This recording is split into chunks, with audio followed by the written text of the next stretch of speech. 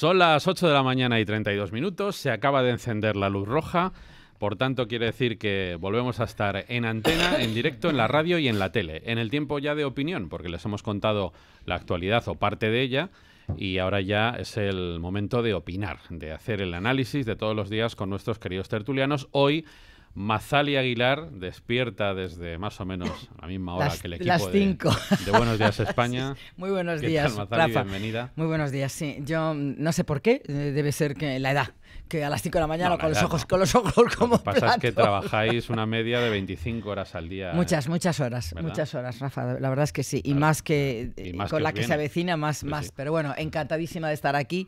Y con estos contertulios que tengo a mi izquierda, feliz de la vida. Sí, señor. O sí, señora. Lorenzo Abadía, buenos días. Buenos días. Yo iba a decir que Mazali está despierta desde que nació. Qué mono es. Sí, porque es un rasgo de su personalidad, ¿no? ¿Qué tal por Aragón? Pues bien, bien.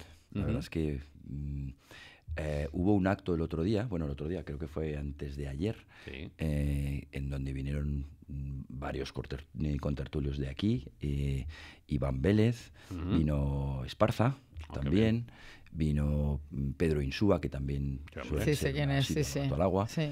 Y- El que tiene la pintilla rara así como de... me- de, de- Es un de profe- filósofo, De profesor sí. de loco, locuelo. Eh, es, es exacto, gracioso. exacto. Sí, sí, sí, Tiene sí. luego la parte del perfil, o sea, no solamente es el perfil, sino la, la parte aspecto interior. físico es muy divertido, Sí, sí. que es un tío muy culto y además muy, Mm. muy majo. Y mm, bueno, pues estuvimos hablando, fue un acto que celebró eh, ¿En Vox, Zaragoza? Vox en. Zaragoza, con una cena después y demás. Y fue un acto bonito porque estábamos celebrando el noveno centenario de la Reconquista. Ah, qué bien. de- exactamente de la toma de Zaragoza. Y bueno, a raíz de todo eso, mm, pues fueron saliendo, digamos, las, la- la- las grandes amenazas y los grandes riesgos que tiene hoy el, Por- el sentido de la identidad Por español, cierto, ¿no? mil y pico personas ayer en Teruel.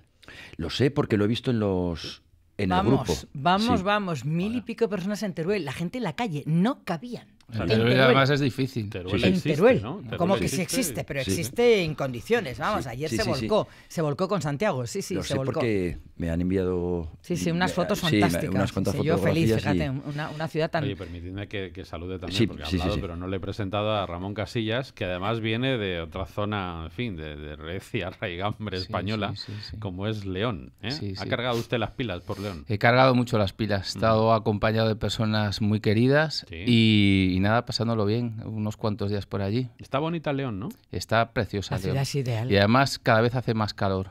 Entonces, bueno, pues es más llevadera. Sí, sí, Lo sí. dice sí, para sí. que no... No, no es cierto, Para absolutamente es una ciudad muy amable y su gente también, pero la ciudad en sí el- es, es muy recogida, es muy bonita. Además tiene una arquitectura que a mí me encanta. Sí, una- sí, sí. la mejor catedral de España junto con la de Por Burgos, ejemplo. probablemente. Si no fuera por Zapatero ya sería perfecta. Eso es lo malo, pero bueno. Pero León Bueno, no tiene ¿quién se acuerda? No- Eso, León ¿Quién no tiene la culpa. Claro, que no sé qué vas a ¿Quién se acuerda de Zapatero? Todos Bueno, yo me acuerdo días. cada vez Sí. que oigo de la ley memoria histórica, me acuerdo de él y, de, y voy a Vale, callarme. y, y- de él. y del golpe y de Sí, sí, sí. y bueno yo creo que hablaremos ahora Sí, sí, ahora por hablaremos. desgracia a mí me lo recuerda todos los días de hecho, esta semana ha sido justo en esta tertulia, donde ha habido algún otro tertuliano que. Claro, es que, es que es inevitable en parte que esto suceda, que cuando llegó Zapatero nos acordábamos de Felipe, sí. Mm. Que claro, Felipe ahora parece que es un estadista, pero tela marinera lo que ha sido en España Felipe y el felipismo, la corrupción, Sí. Cargarse las la, cargarse la enseñanza los días, pública, por ejemplo. Bueno, sí, sí. pero claro, el siguiente que viene hace mejor al anterior. Y entonces ahora con Sánchez, pues hay, hay gente que se acuerda de Zapatero. Co- Era ¿Cómo es José Luis refrán? Fernández ¿Cómo, Santillana, cómo refrán que dice otro vendrá Otro que bueno me hará? Claro, Pues claro. Entonces Zapatero, que, que siempre ha sido, pues, bueno, va- vaya que se, se ha dicho de él en esta misma casa, hemos dicho que era el peor gobernante que había tenido España desde Fernando VII. Bueno, pues es que Sánchez le, Sí, ha, le ha sí, sí, superado. lo ha hecho bueno. claro Sí, sí. pero pero incluso el aspecto de González eh, no digamos que se ve ahora a, a los ojos actuales como casi un estadista por dos cosas primero por la comparación que estáis diciendo no por esa Sí. eh, máxima de Wilde de que cuando me comparo pues me detesto pero Pero me encanta la o sea cuando me miro me detesto pero cuando, Pero me, cuando me comparo, claro, entonces este, a este, lo, a este ¿no? lo miras Sí, sí, eh, sí. solo y mm, bueno en su época pues desde luego eh, gobernó detestablemente por comparación ya es mejor pero es que encima eh, el González de hoy no es el, el mismo per se, también. ya no es el González de entonces. ¿Por qué? Pues es porque han pasado 20 o 30 años Se ha al hecho final. rico. Eh, bueno, es, un- es una persona más consolidada, por decirlo así, como, como humano. Y Una persona más conservadora. de al que- final, yo lo que quiero decir es que esta efebocracia que, que- imperante de tener niños a punto de ser presidentes no puede nunca llevar a buen término. Es decir, una persona tiene que tener 60 años para gobernar, no puede tener un minuto menos. Pues mire, y, ya, y, ya- y ya treinta y tantos, para mí es que es insultante. Le voy a decir una cosa. Esto que usted ha dicho ahora, que no lo dice nadie, le voy a coger el testigo con su permiso, respetando el copyright. Por descontado, no, o sea, por descontado lo del testigo, el Pero copyright da lo cojo mismo. el testigo de esa idea y vamos a tomarlo casi por bandera. Porque estoy tan de acuerdo en que esa es una de las, una, eh, no digo que sea ni la única ni la más importante, pero es una de las claves para entender buena parte de lo que nos está pasando. que es Absolutamente. Absolutamente. Esa adoración a la No, no, juventud. la discriminación por edad. La adoración Sí, a la sí. juventud. La discriminación Claro, por sí. edad. Pero además- sí, empresa, sí. Que también ocurre. Discriminación positiva, además, eh, Pero por edad. positiva, Bueno, ya- positiva por edad para abajo, negativa Claro, para claro, arriba. claro, Ya, claro, claro. Pero fíjate que eso ya sucedió en, Espa- en esos Estados Unidos de Norteamérica en los años, yo te diría que en los años eh, 80 y ha Ah, sucedido... Ah, pero, pero te refieres al revés de lo que ocurre aquí. No, Cuando no, Reagan no, no, llega. no, no, exactamente igual. Es decir, empezaron a quitarse de encima las grandes corporaciones, las personas mayores, Ah, pero la- y empezar a poner ya. a los WAPs. Ya. ¿eh?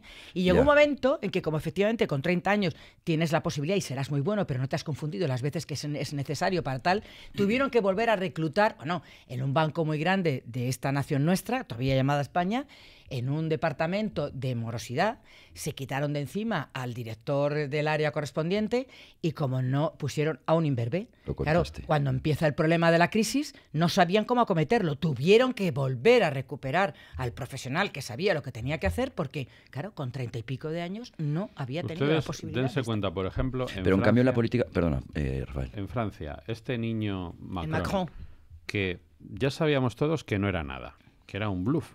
Un producto Absolutamente. de y que ha llegado, y que Yo- ha llegado a la sí. presidencia de Francia Sí. por sus ojitos y porque es muy mono y porque sabe hablar y Por porque Penélope. Por el caso Penélope. Si no, no habría nunca. Y la Pero de cara, Y de cara digamos, a la, a gran opinión pública, lo que ven de Macron, lo visible de Macron es un tipo jovencito con buen aspecto, Ah. que lo ha educado y lo, ha- lo han llevado por donde había que llevarlo y que tiene mucha labia para tal.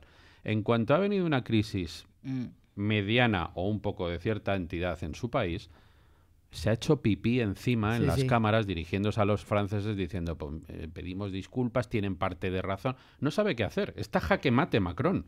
Está jaque mate. No nos olvidemos que tenía eh, un 10, un, un 12% de intención de voto cuando Fillón Sí. tenía un, un, un 40, un 30 y mucho 40 y tantos. Habló antes de la primera vuelta. Era imposible casi desde el punto de vista Pero le sacaron matemático. todos los- todos los allí trapos voy. sucios a Fillon. Era imposible que Fillón, sin, cuidado, eh, sin el caso Penélope, por Mm. eso lo estaba Mm. poniendo Sí, sí, claro, antes, claro.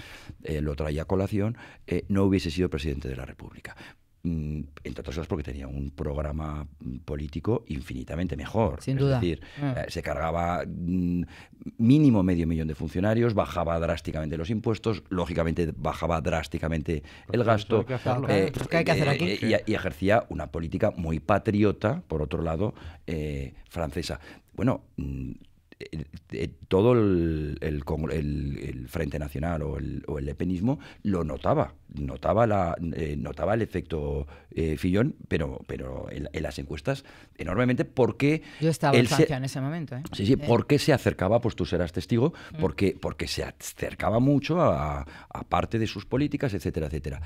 Y Macron tenía, yo es que no me acuerdo si tenía un 8 o un 10 Ah, o un como 12%. residual, sí, sí. Claro, sale el caso Penélope, Se este acabó. se enquista, no, se, enroca, no se quiere ir, y entonces las encuestas pu, empiezan a bajar. Pero si no, Macron habría sido una anécdota. ¿No os acordáis? Sí, sí, sí. ¿Qué te yo parece sí. a ti todo esto de la Bueno, yo la estoy de acuerdo. Tenemos, tenemos muchos eh, políticos prematuros.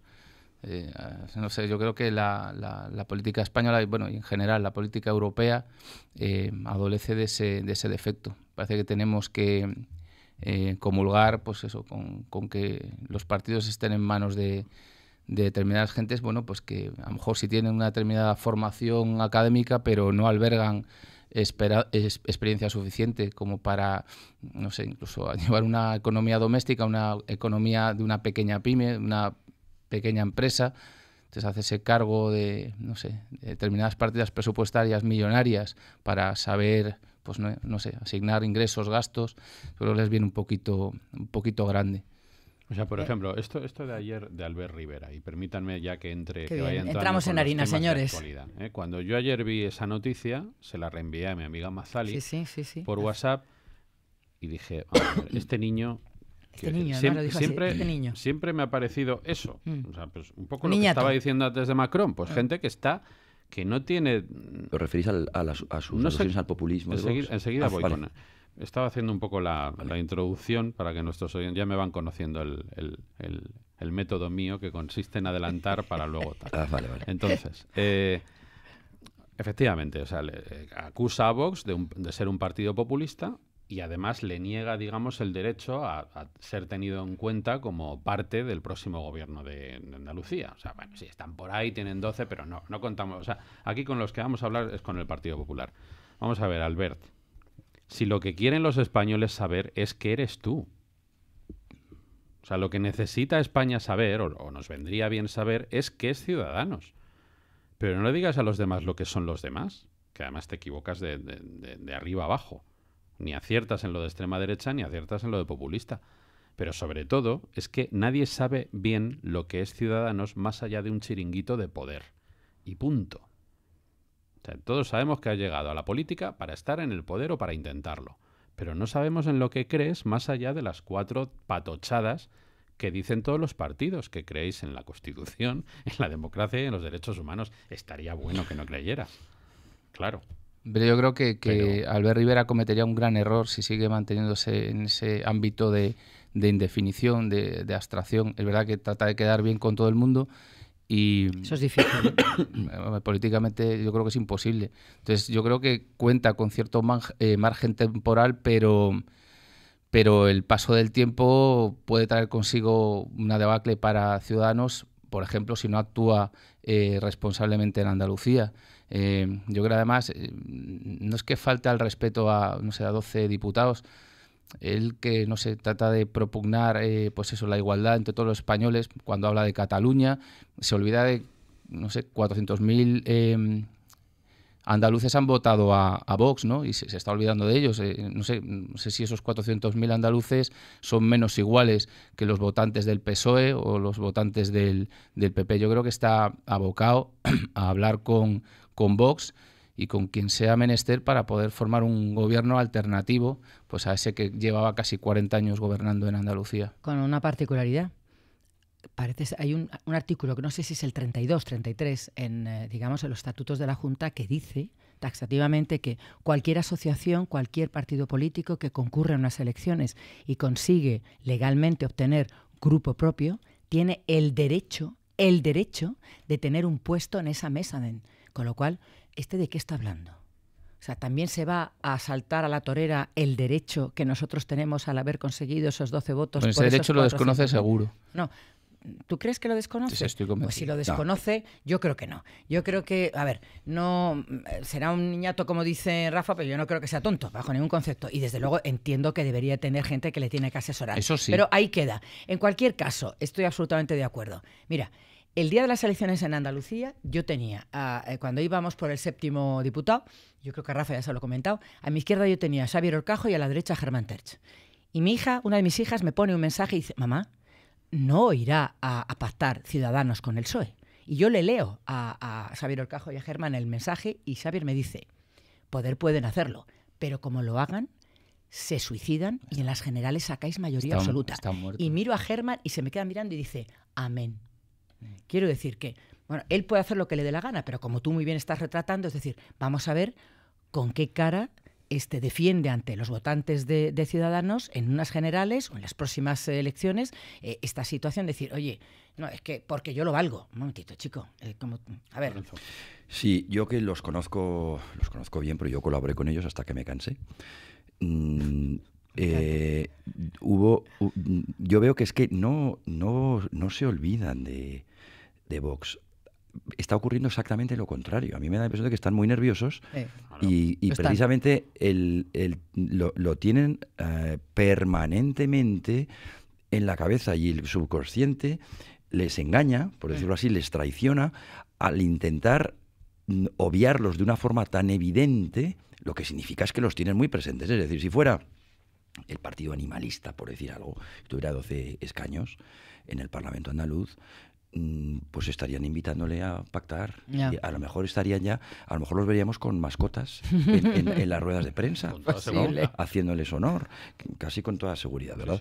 Ahora, ¿qué ocurre? Que Ciudadanos, que es un partido que se caracteriza por estar más bien indefinido, más bien indefinido en bastantes aspectos, sí hubo uno en donde, que era eh, el problema catalán, en donde pues se, definieron y de ahí vienen En la, la- en un principio mm, fundamentalmente se definieron y, y es de donde le venía la gran avalancha de votos que han, que han tenido. Cuando ha llegado otro partido mucho más definido, mm, pues empiezan a ver que, Pero, bueno, que, Lorenzo, es que- que los cimientos sobre los que estaba basado su proyecto empiezan a socavarse. Pero es que la verdadera definición es la de Vox. Porque, vamos a ver, decir que estás con la Constitución, insisto, es que eso no es ideología.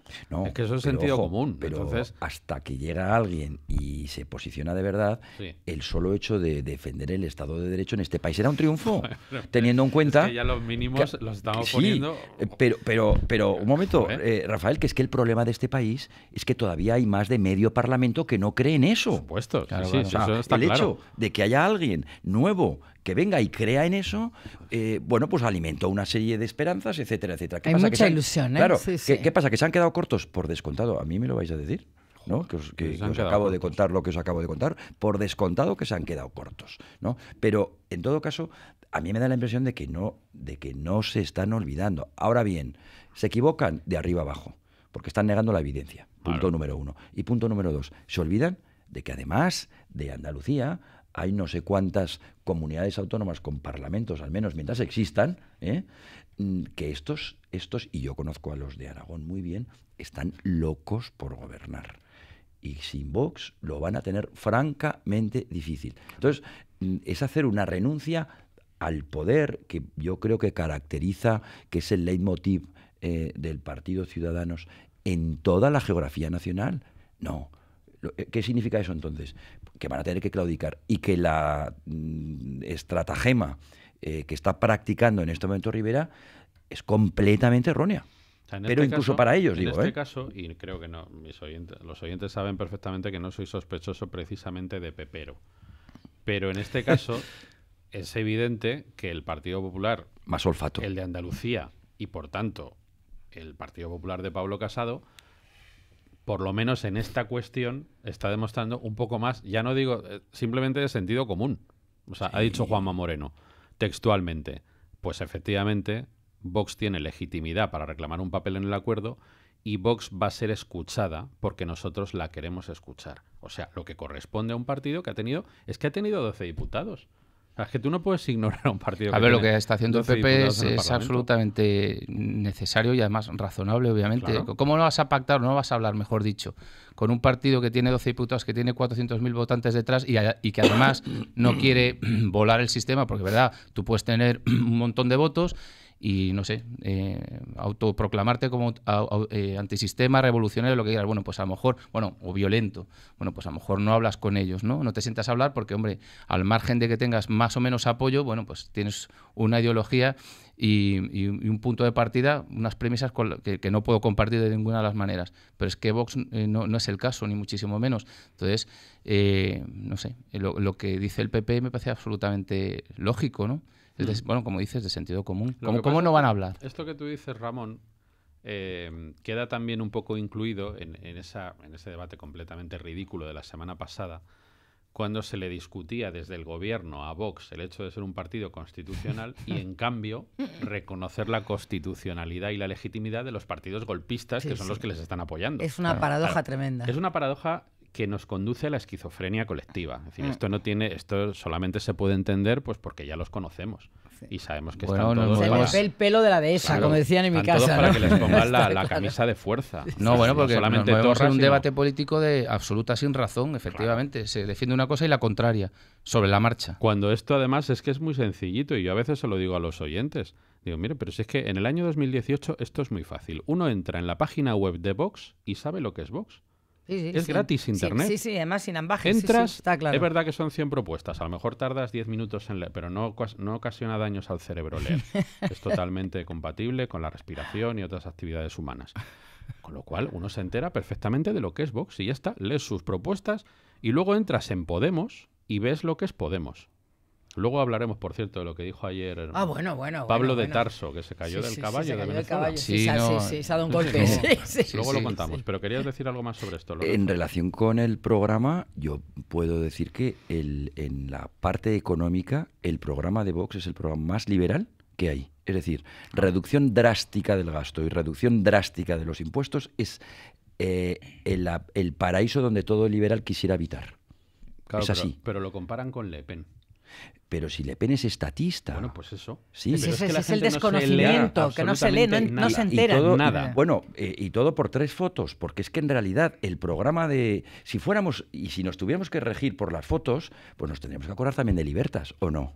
Hombre, claro. En el tuit, en el tuit que le puso ayer Santiago Santiago, le mete un meneo a- al Bueno, Riverita de aquí es te que- espero. Pues ¿eh? es que Sí, tiene sí, que sí, ser sí, así. sí. Oiga, ¿usted quiere que nos acordemos de, de las fotografías? Pues más fotografía que eh, formar parte del, del- del mismo equipo electoral, Sí. ¿no? de la misma campaña y, del, y de la misma lista. Pues fíjese, ahora que no, no, pero es que yo ya no estoy. Bien, usted no está. Muy bien. Pues entonces léase mis 100 propuestas y dígame cuál de ellas es populista. Y no intente insultarme. Lo que pasa es que ¿ves? en esto también, por ejemplo, yo noto la bisoñez de los políticos, en que se ponen nerviosos con muy poca cosa y en vez de en vez de pensar una respuesta que esté a la altura, yo no sé si es por nerviosismo, por inmadurez política, por, por juventud, no, no sé muy bien por falta de preparación, por falta de, de talento político, pero es que entran en un terreno que es de vergüenza ajena, de verdad, o sea, no tiene esta gente, a- tú les has dejado nivel, por muy pura poco lógica, nivel, pero no, sí. tiene, no les queda un asesor que le diga, oye, Albert, que no puedes decir esto, que es que te estás retratando como, como, estás fin, como un, un te estás chisgarabís de pegando la un tiro en el pie. Además, sí, sí. sí, además que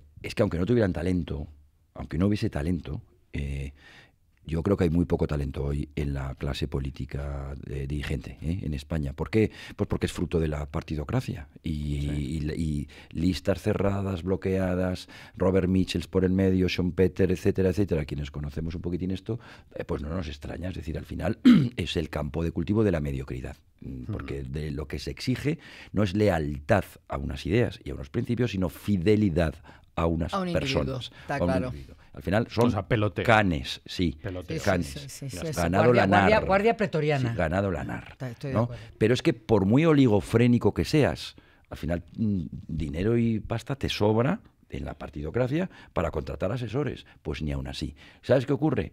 Que es que contratan asesores a condición De que les diga lo que quieran escuchar. Punto. Claro, Claro, es que esto, de- fíjate, los romanos ya eran inteligentes cuando llevaba, decía, el esclavo al lado, recuerda César que eres mortal. No, estos no han aprendido nada de eso. No, no, No, no. nada. O sea, ¿no? Ahora hay que decirles, eres inmortal, Bueno, para que te, sí, sí, para sí. que te mantengan en Bueno, el puesto. en- eh, sí, espero que lo entiendan. Vamos a coger los cafetitos, son las 9 menos 5. Ya saben ustedes que hasta las 10 estamos en directo con, dicen ustedes mismos, la mejor tertulia de la radio. ¿eh? Por nuestros tertulianos, obviamente. Mazali Aguilar, Lorenzo Abadía y Ramón Casillas. 9 de la mañana y un minuto. Continuamos en directo con estas canciones absolutamente maravillosas navideñas. Supongo que el Belén puesto y el árbol en vuestros hogares. ¿no? El Belén sí, el árbol todavía no, pero lo Sí. tengo que poner porque a mis nietos les encanta. Vale. Lorenzo, Ramón, ya tenéis. Yo he de reconocer que no, porque tengo una obra monumental en casa Qué horror. y vivo entre polvo y escombro. ¿Te refieres, a las, Lo- lo- eh, Absolutamente cierto. te refieres a las obras completas de alguien? Sí, efectivamente. De Benito Pérez Galdós. Con las de su casa. las obras de su Me casa. encanta. Bueno, pues nada, eh, ya queda muy poquito para la Navidad y nos va a venir a todos eh, muy bien eh, inundarnos de espíritu navideño Sí, y de fe, que en definitiva es lo que da sentido a la Navidad, nuestra fe eh, y el nacimiento del Redentor. Vayan ustedes a saber porque a lo mejor al final se hace cristiano Pablo Iglesias. ¿eh? Quiero decir que uno empieza con... Uno empieza arrepintiéndose de las tonterías que dijo en el pasado sobre Venezuela, que lo reconoció él mismo ayer, ¿eh? no me lo estoy inventando yo, no, no. Sí, sí.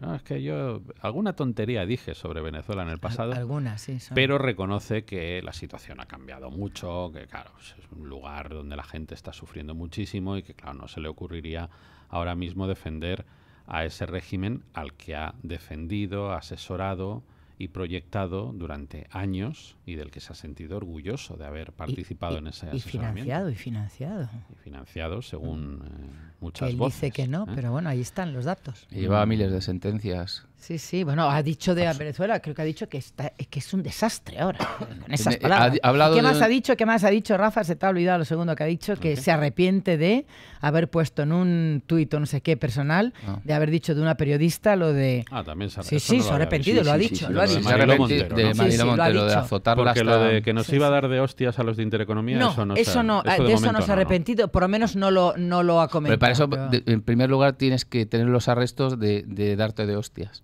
Bueno, bueno, que no tiene media torta, que yo siempre lo digo, ¿eh? o sea, de uno en uno, ni media torta, pero en fin. Bueno. Sí, sí. De todas maneras, tampoco nosotros tenemos No, hombre, por supuesto que no. En darnos con nadie. No, pero no, vaya, pero no, quiero decir, decir que pero ya puestos, ya pero puestos como a nos amenazan, arrepentirse. pero como nos pues, amenazan, pues Claro, bueno, pues ese nada. es el tema, o que muchas veces es de Igual que te arrepientes de darle de latigazos a Mariló, pues también podías pero decir, lo ha dicho oye, él, lo ha hasta dicho. sangrar. la, la hemeroteca me ha dejado en muy mal lugar muchas veces, por tanto me arrepiento de todas las veces que, que he me he pasado varios sí, sí, pueblos. Estas barbaridades, Bueno, ¿no? Bueno, lo que ocurre, eh, por otra parte, es que este sujeto mm, se está dando cuenta de que si sigue mostrando su verdadero ser, mm, apoyando a Venezuela, eh, mostrando todas sus contradicciones, etcétera, etcétera, pues como ya le han calado muchos de sus votantes, pues está desangrándose. Más, mm, si a eso le unimos el- los- todos los problemas que tienen eh, de tensiones territoriales, Podemos, que por otra parte es lógico, porque si estás a favor del derecho de autodeterminación, nada menos que de una nación como la española, imagínate de un puñetero partido como, como puede ser cualquiera, pero especialmente el suyo, ¿no? Entonces, mm, claro, las contradicciones son tan grandes y, y- la, la sangría de votos es tan flagrante, tan enorme, que están teniendo que cambiar de, de Lo que pasa. Lorenzo, que no yo- creo que lo, que lo consigan, pero es que no les queda, a mi modo de ver, no les queda otro remedio. Yo es que creo que Podemos es un partido ahora mismo que lo tiene difícil, haga lo que haga. Sí, Porque, vamos a ver, es que lo que defiende es tan disparatado desde el primer momento y se ha quedado en un, en un reducto ideológico tan, tan concreto y tan fuera de tiempo y de lugar que ahora mismo vayas por donde vayas te va a coger el tren. O sea, si rectificas eres un chaquetero de tres al cuarto y entonces eres asimilable a otros partidos a los que la gente va a preferir al tuyo. Y si te empeñas en mantenerte fiel a lo tuyo, pues eh, vas a ser residual por la misma razón. Es decir, que es que mm, ni siquiera con otro líder creo que sería posible que un partido como Podemos pudiese crecer más de lo que ha crecido. Tengo yo la impresión, ¿eh? Mm, Para empezar, porque Podemos o este tipo de partidos tienen sentido en momentos de crisis muy agudas, Claro. de momentos de crisis económicas, crisis políticas en 2011. Sobre todo digamos que- económicas, ¿no? bueno, pero Como también dos- forma de descontento de la gente. pero 2011, eh, Rafa, mm, digamos que concitó una serie de, de problemas en España y evidenció, hizo emerger eh, una, una grandísima crisis económica, pero también era fruto de una crisis sistémica, es decir, una crisis de régimen. La, la partitocracia había llegado a sus últimas consecuencias. Ya había tensiones desde el punto de vista mm, eh, territorial, pero es que había eh, estaban ya saliendo todos los casos de corrupción que había generado eh, pues la propia partidocracia, etcétera. Es decir, no solamente era una crisis económica, sino que la crisis económica surge tiene sus propios sus propias causas, pero también es consecuencia de la de, de los defectos, de los vicios políticos que arrastramos desde hace mucho tiempo. Y entonces eh, mm, ellos capitalizan bien en ese momento eh, la, la, la indignación. El descontento, Sí, ¿ya? pero no nos podemos olvidar, eh, cosa que en este momento, yo como no veo la sexta, pues no lo sé, pero creo que, ne- creo que no debe ser igual porque mm, sus, sus buenas artes habrá eh, mediado eh, el señor Sánchez para ello, que, mm, eh, que Podemos es fruto de Rajoy, es obra de Rajoy y de Soraya Sáenz de Santa María. claro, ¿no? Entonces, eh, ¿están teniendo el mismo favor en este momento que lo tuvieron en los medios de comunicación? Lo dudo mucho. No, no forman parte, que casi casi tuvieron la hegemonía política o cultural durante unos cuantos años. ¿Os acordáis? Que todo era Podemos, o sea, que, que ese Mm. No, pero- espíritu de indignación, etcétera, llegó a abarcar, Mazari, ¿tú te acuerdas? Que decían las encuestas que había abarcado el 70% de la, de la población. Eso ahora se ha quedado reducido a la décima parte o a la vigésima parte, ¿no? Entonces, mm, por supuesto que lo tienen muy complicado. Lo tienen muy complicado porque mm, las circunstancias ya no son las mismas. Y además porque también hay otro partido, no tiene nada que ver, no es otro partido populista, es otro partido ¿eh?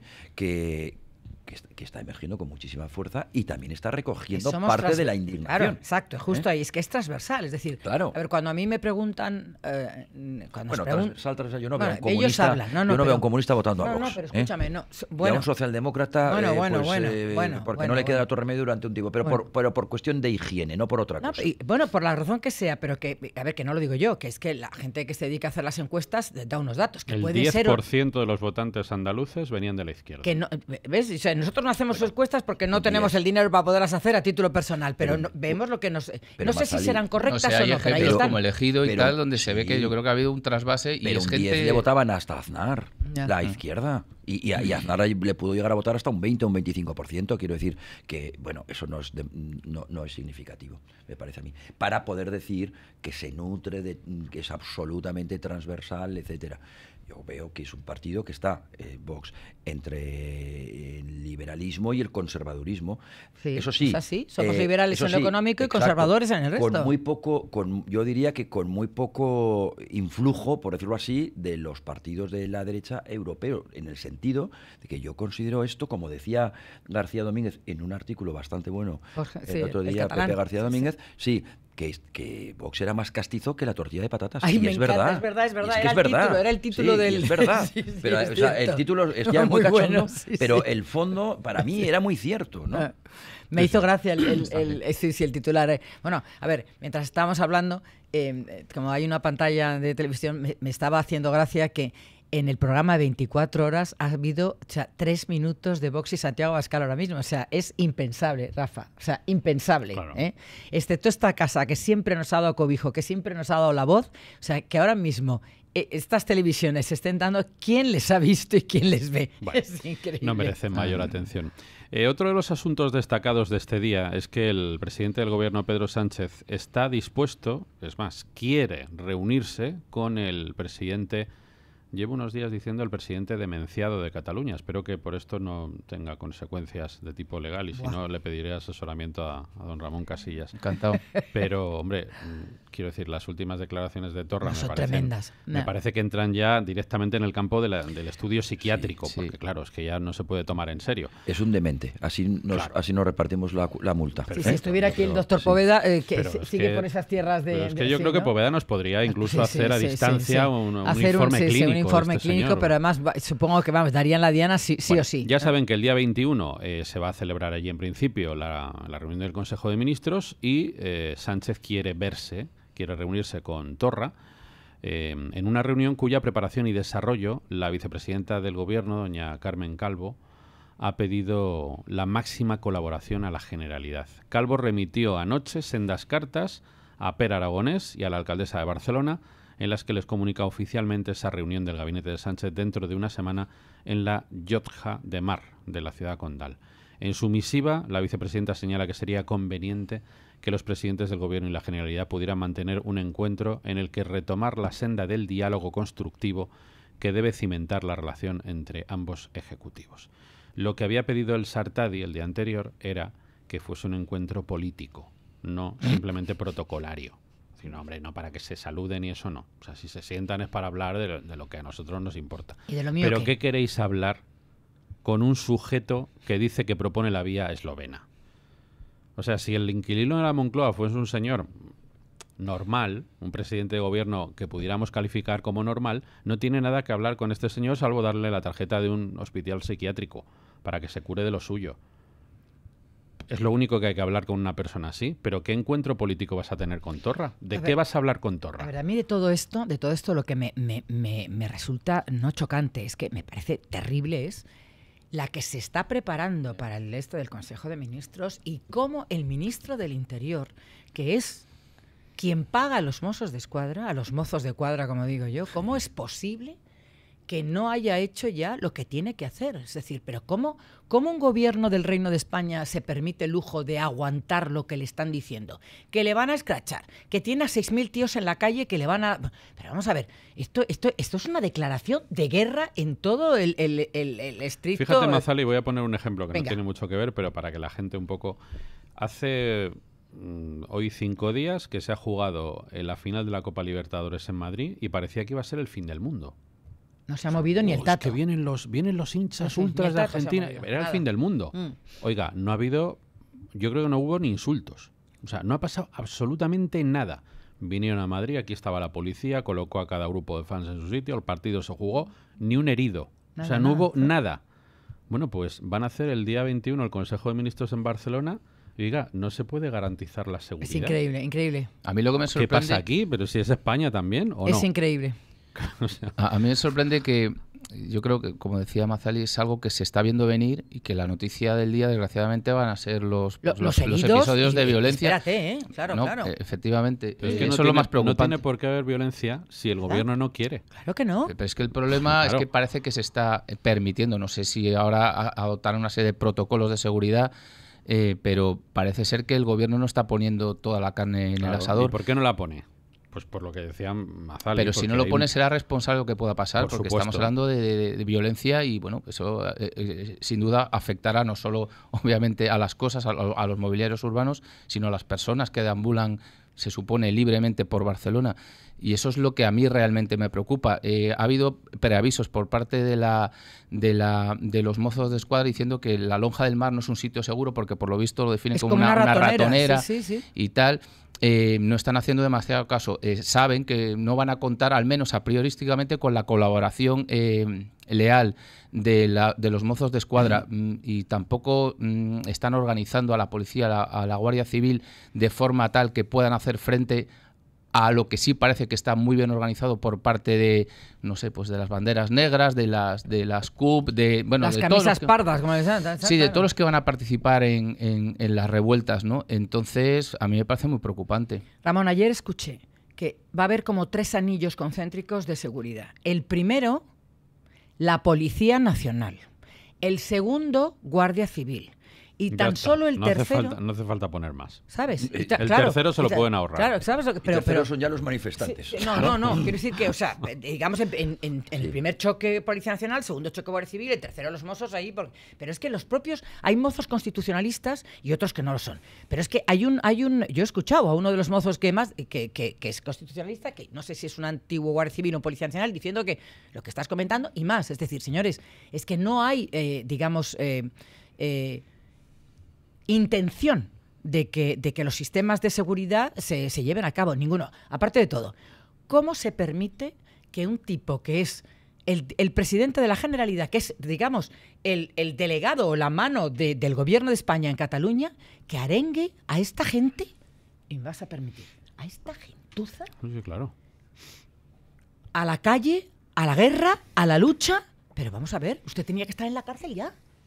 Lo que falla aquí, eh, Mazali, bueno, todos lo sabemos, en todo caso lo repito, mm, es el propio Estado. Es decir, ah, claro, eh, y eso lo, ya lo decía Montesquieu, cuando una causa particular es capaz de cargarse una causa general, pues es que la causa general debía ser, se lo merece, ¿no? Es decir, algo falla, ¿no?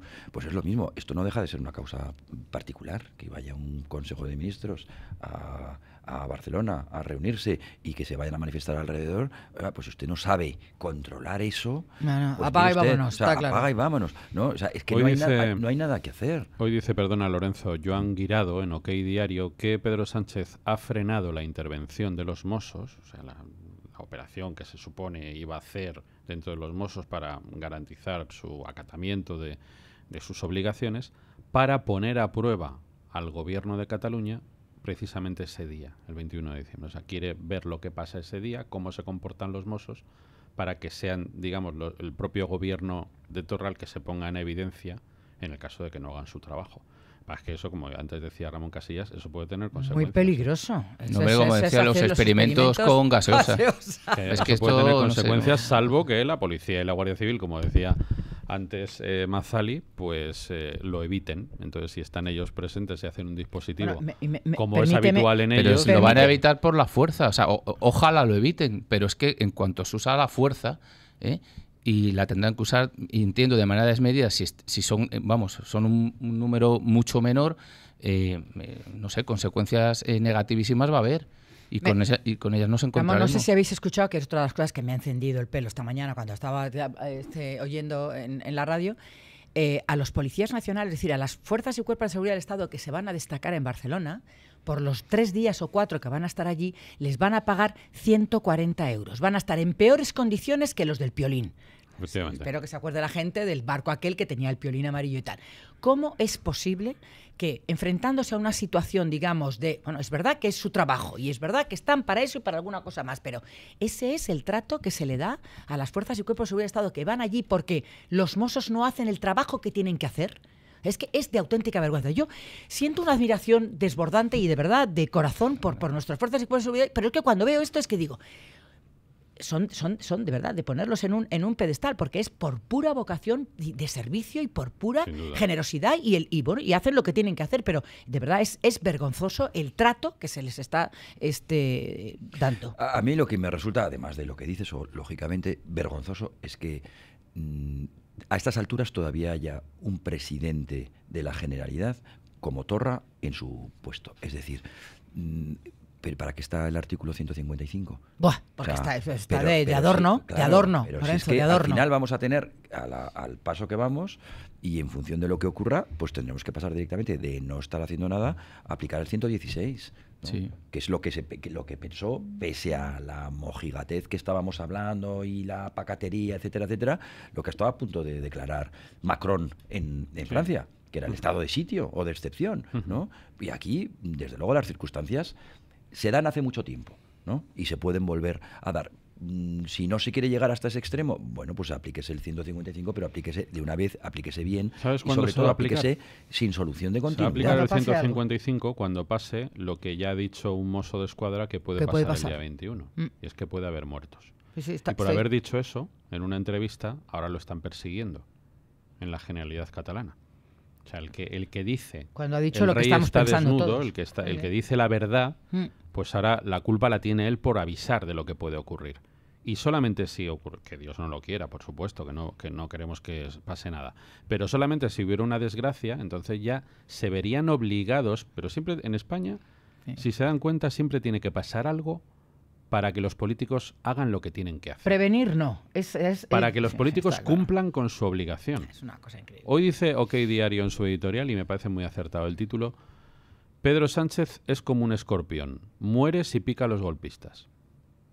Claro, si es que el problema es ese. Es que El está donde está, está donde está es por que él quién, no por puede, estos, hacer, claro. no puede hacer lo que tendría que haber hecho, que es quitar de en medio a este sujeto y, y meterlo a buen recaudo, Mm. porque es ese sujeto y su partido el que le están manteniendo en la Moncloa. Si es Lo que, es el origen que de todo. Este tipo que es un escorpión, pero por encima de todo es un camaleón. No, no, es un ególatra. eh, bueno, O sea, es yo mime conmigo. O sea, no se besa por la mañana porque no se llega. Exacto. Sí, pero tiene bastante de camaleón. Pero es un camaleón. mm, Camaleón, digamos, es, es la, la extrapolación al mundo animal de, del nihilismo. Porque este tío, por encima de todo, a mi modo de ver, es un nihilista. Es decir, tiene una ausencia total y absoluta de valores y de principios y le da exactamente igual estar pactando con Rivera, con Rivera un programa pseudo socialdemócrata liberal mm, y pasar después a pactar con el golpismo y con Podemos un programa pues pues eh, Todo vale. populista, comunista, eh, rupturista con la unidad de España, etcétera, etcétera. Yo creo que va a volver otra vez, eh, porque sus varones se lo están pidiendo mm, o exigiendo a, confrontarse con el con el con el mundo aberchale, es decir, con, con el golpismo. Y que a mí no me extrañaría que este tipo a la vuelta de muy poco tiempo, un mes, dos meses, aplique el 155 y una semana después, un 155 duro y una semana después convoque elecciones. ¿Cuál es el problema? Espera, espera, Que lo- espera. y termino. ¿Cuál es el problema para mí? Estratégico. Que los varones no lo quieren ni en pintura, como convoque el gran domingo este que, del que están De hablando. mayo. De Mm. mayo. eh, los varones no lo quieren ni en pintura. Y claro, si tú convocas antes que ya no tienes tiempo, pues, pues harás tu campaña solo. Nadie te puede decir nada. Si la haces en octubre, como a veces se dice también, que es lo que yo pensaba, porque este, por estar en el Falcon agotar hasta el último minuto, Mm. pues aguanta, eh, bien. Pero es que, en el- si- si- ¿qué le- ¿cómo le van a prohibir los varones? Eh, imaginemos en Zaragoza, Lambán, que está ya... mm, De los bien nervios. con- de los Está nervios. de los nervios, sí, sí. ¿no? En versión, en versión además baturra, si os dais cuenta. Sí, ¿eh? sí. Eh, mm, ¿cómo, va, ¿Cómo va a decirle a Pedro Sánchez? Lo oía, eh, no sé si ha sido esta mañana, ayer en la radio, lo oía. ¿Cómo le va, de, de un periodista, ¿cómo, ¿cómo le va a decir a Pedro Sánchez que no venga? Decir, Sánchez va a decir, oye, que no voy a tu campaña, que es que voy a la mía. A, a Zaragoza, por ejemplo, ¿no? Entonces, ¿y quién quiere? Pero si es un apestado, ¿quién quiere? Porque, porque Las la, la- la Lola Flores de abajo ha perdido las elecciones, se las ha perdido Sánchez, no las, ella no las habría perdido. Esa, esa política clientelista de hace 40 años Sí. no se rompe de una manera tan fácil. Si es que O además- sea, en realidad, o sea, ha tenido que venir una fuerza tan tectónicamente tan, tan profunda y tan compacta como Pedro Sánchez para cargarse el, el- el Sí, sí. felipismo todavía, porque eso era felipismo, de Andalucía. A mí me dijeron no hace mucho que este señor no va a convocar elecciones antes de mayo por una razón. No sé si es cierta o no, pero yo la repito aquí. Porque necesita llegar como presidente del gobierno a finales de abril para poder tener su pensión permanente. No, yo creo que eso tampoco. Bueno, no, A ver, que no lo sé si no los plazos son... A ver, estoy haciendo un comentario, pero, pero lo cierto y verdad es que este eh, le estará poniendo una vela... Bueno, adiós. Se la puso ya, se la puso ya, se la puso ya, se la puso ya su suegro, Ahora, el de las saunas. Escúchame, Sí, los, qué rico, los, los, eh, los varones, yo creo que cada día de la mañana que se levantan estarán diciendo por qué no lo echamos del partido. Porque este volvió porque estaba. O sea, cometieron la torpeza de pegar una patada en el, claro. en el Claro. trasero y sacarlo fuera No, y se olvidaron de echarlo del partido. Le aplicaron un 155 blando. Blandito, haberlo echado de claro, verdad. claro. Y estoy de acuerdo ¿Tú te con? Lorenzo. Yo creo que este hombre está eh, no tiene ningún. Por cierto, Rafa. eh, Un momento que no ha terminado. No, no, no, sí, Perdón. sí, sí es muy rápido. Sí estaba de acuerdo con, con Lorenzo en el sentido que efectivamente a este no le importará en su momento picar a los nacionalistas, no para morir, sino efectivamente para aplicar un 155 relativamente contundente, contentar a un montón hacer. de votantes, a ciertas bases, por ejemplo, a, a las andaluzas, Ahora las lo- extremeñas, las de Castilla-La Mancha, y poder presentarse a las elecciones con ciertas garantías. Ahora ya lo conocemos, yo creo que lo va a hacer, porque conociéndolo, pues Em, eh, No. ¿Puedo hacer el comentario de lo que ha dicho la señora Calvo, por llamarla de alguna manera, respecto... Sí, Ah, oído. Sí, sí. Lo has oído. ¿Y Cuando cuál? habla, cuando habla de que a las mujeres sí o sí, cuando salen a la sí. calle hay que tal. Hay que y entonces digo, pero vamos a ver. Ya, ya, Estas ya, señoras dicen que es catedrático de Derecho Constitucional. Ja, ja. Se ha cargado la presunción de Pero ¿cómo la presunción de inocencia? O sea, es- que tienes que demostrar no que te- sino que eres inocente. se ha cargado los derechos fundamentales del individuo. Sí. Eso, del individuo, punto. Ahí lo dejo. Se los ha cargado. Es increíble. Y sigue Vamos ahí. a contarle a los oyentes que no sepan de lo que estamos hablando. Esta señora, efectivamente, catedrática de Derecho Constitucional y además ¿Cate qué? vicepresidenta del gobierno, ¿Cate qué? dice Cateta, cateta. que en los que en las acusaciones de género, de, o sea, las acusaciones de, de machismo, de una agresión de género de un hombre hacia una mujer, a las mujeres hay que creerlas siempre. Sí o O sea, sí. que la versión de la Sí mujer o sí. Eh, hay que creerlas sí o sí. eh. Efectivamente, como estáis diciendo los tres. Esto significa en la práctica la destrucción, la vulneración de la más elemental, del más elemental sentido del, del De Estado la de justicia, Derecho, de la que para eso se le pone la de- de venda en los igualdad, ojos. O sea, en es ciega hasta Claro. que se demuestra con pruebas Sí, lo sí, que hay. pero es que se Es carga increíble. el derecho natural, se carga el derecho positivo, en concreto el constitucional en no sé cuántos artículos, el principio de legalidad entendido estricto senso, el estado de, o sea, es decir, No, no, es, es brutal, e- brutal. es una violación total y absoluta. Sí, sí, sí, sí, absolutamente. Sí, pero además de ahí está, ¿eh? Tan ancha. Ah, o sea, no, no, O sea, claro. eso en cualquier país realmente democrático le había costado el puesto porque le habían invitado a irse de una patada en el trasero. Bueno, aquí sí, hombre, se ha comentado, pero es verdad, tampoco se le ha puesto en el brete de, de- de- de dar mayores explicaciones. Evidentemente, no sé si efectivamente es de sentido común. Hay que creer a quien dice la verdad, sea hombre o mujer, y no hay que creer a quien miente, ¿no? Sea Pues hombre o que, mujer. sobre pero todo, es que, claro. no es un acto de fe. No, Exacto. Si esto no es un acto hay de que fe, probarlo, no hay que hay que a nadie. probarlo. Ahí está la cuestión. o sea, Claro. No hay que creer el, a el juez nadie. no tiene que creerse a nadie. Lo que tiene que hacer es demostrar. Hay que Claro, se tiene que demostrarlo. poner una venda en, la- en, la- en los ojos Y ya está. y, y- Y por eso le dice que la justicia es ciega. Claro, claro. Claro. con desconfianza hacia todas. Evidente. Sí, claro, en juicio tú vas a defender tus intereses, no tu verdad. No, no, tus está claro, claro, claro. Luego, luego, eh, la justicia lo que tiene que hacer es sopesar hechos, intentar sopesar. hechos. Dice que solo hay dos maneras de formular, de esto seguro que es experta también, solo hay dos maneras de formular el consentimiento a mantener relaciones sexuales. No es no y sí es sí. Ya está. Dicen esto, oiga, y se queda tan Se tranquila. queda tan tranquilo. Sí, sí, sí. Ya Ya, está. Pero son majaderías, auténticas majaderías. Claro, Ya, Es pero, que- Claro pero- que es pero una sí, lo que majadería, se o te, sea, que lo no que se tiene- te cae el alma a los pies es que esta tipa, porque no se puede de otra manera, dicen que es catedrática de Derecho Constitucional, nada más y nada menos, y además vicepresidenta del gobierno, que es increíble. Bueno, a mí me parece todavía más grave que sea vicepresidenta del gobierno. Es porque yo, si increíble, o fuera sea, ¿qué nivel? catedrática de Derecho Constitucional y estuviera por ahí perdida en algún ¿Qué sitio. nivel? Pues qué no ir a clase? ¿verdad? Exacto, Suficiente. Pero, pero que es aquí es que- la tenemos que escuchar todos los días. Qué No, no, no solo Todos los viernes. es que nos afectan sus decisiones. Obedecer, no escuchar, como tú dices.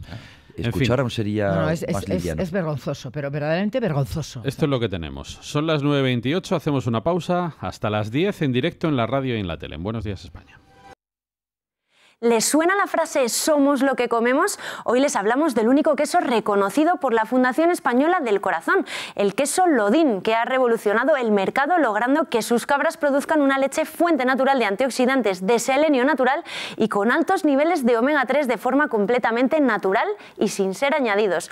Todo gracias a una alimentación animal patentada a base de pasto y semillas naturales seleccionadas. Y es que para queso Lodín lo importante es cuidar todo desde el primer momento. Es un auténtico queso 100% leche de cabra muy suave y cremosa que puede disfrutar toda la familia y que además puede llegar a mejorar el perfil cardiovascular. De venta en supermercados El Corte Inglés, Hipercor y Carrefour. Queso Lodín, de lo natural a la comida real.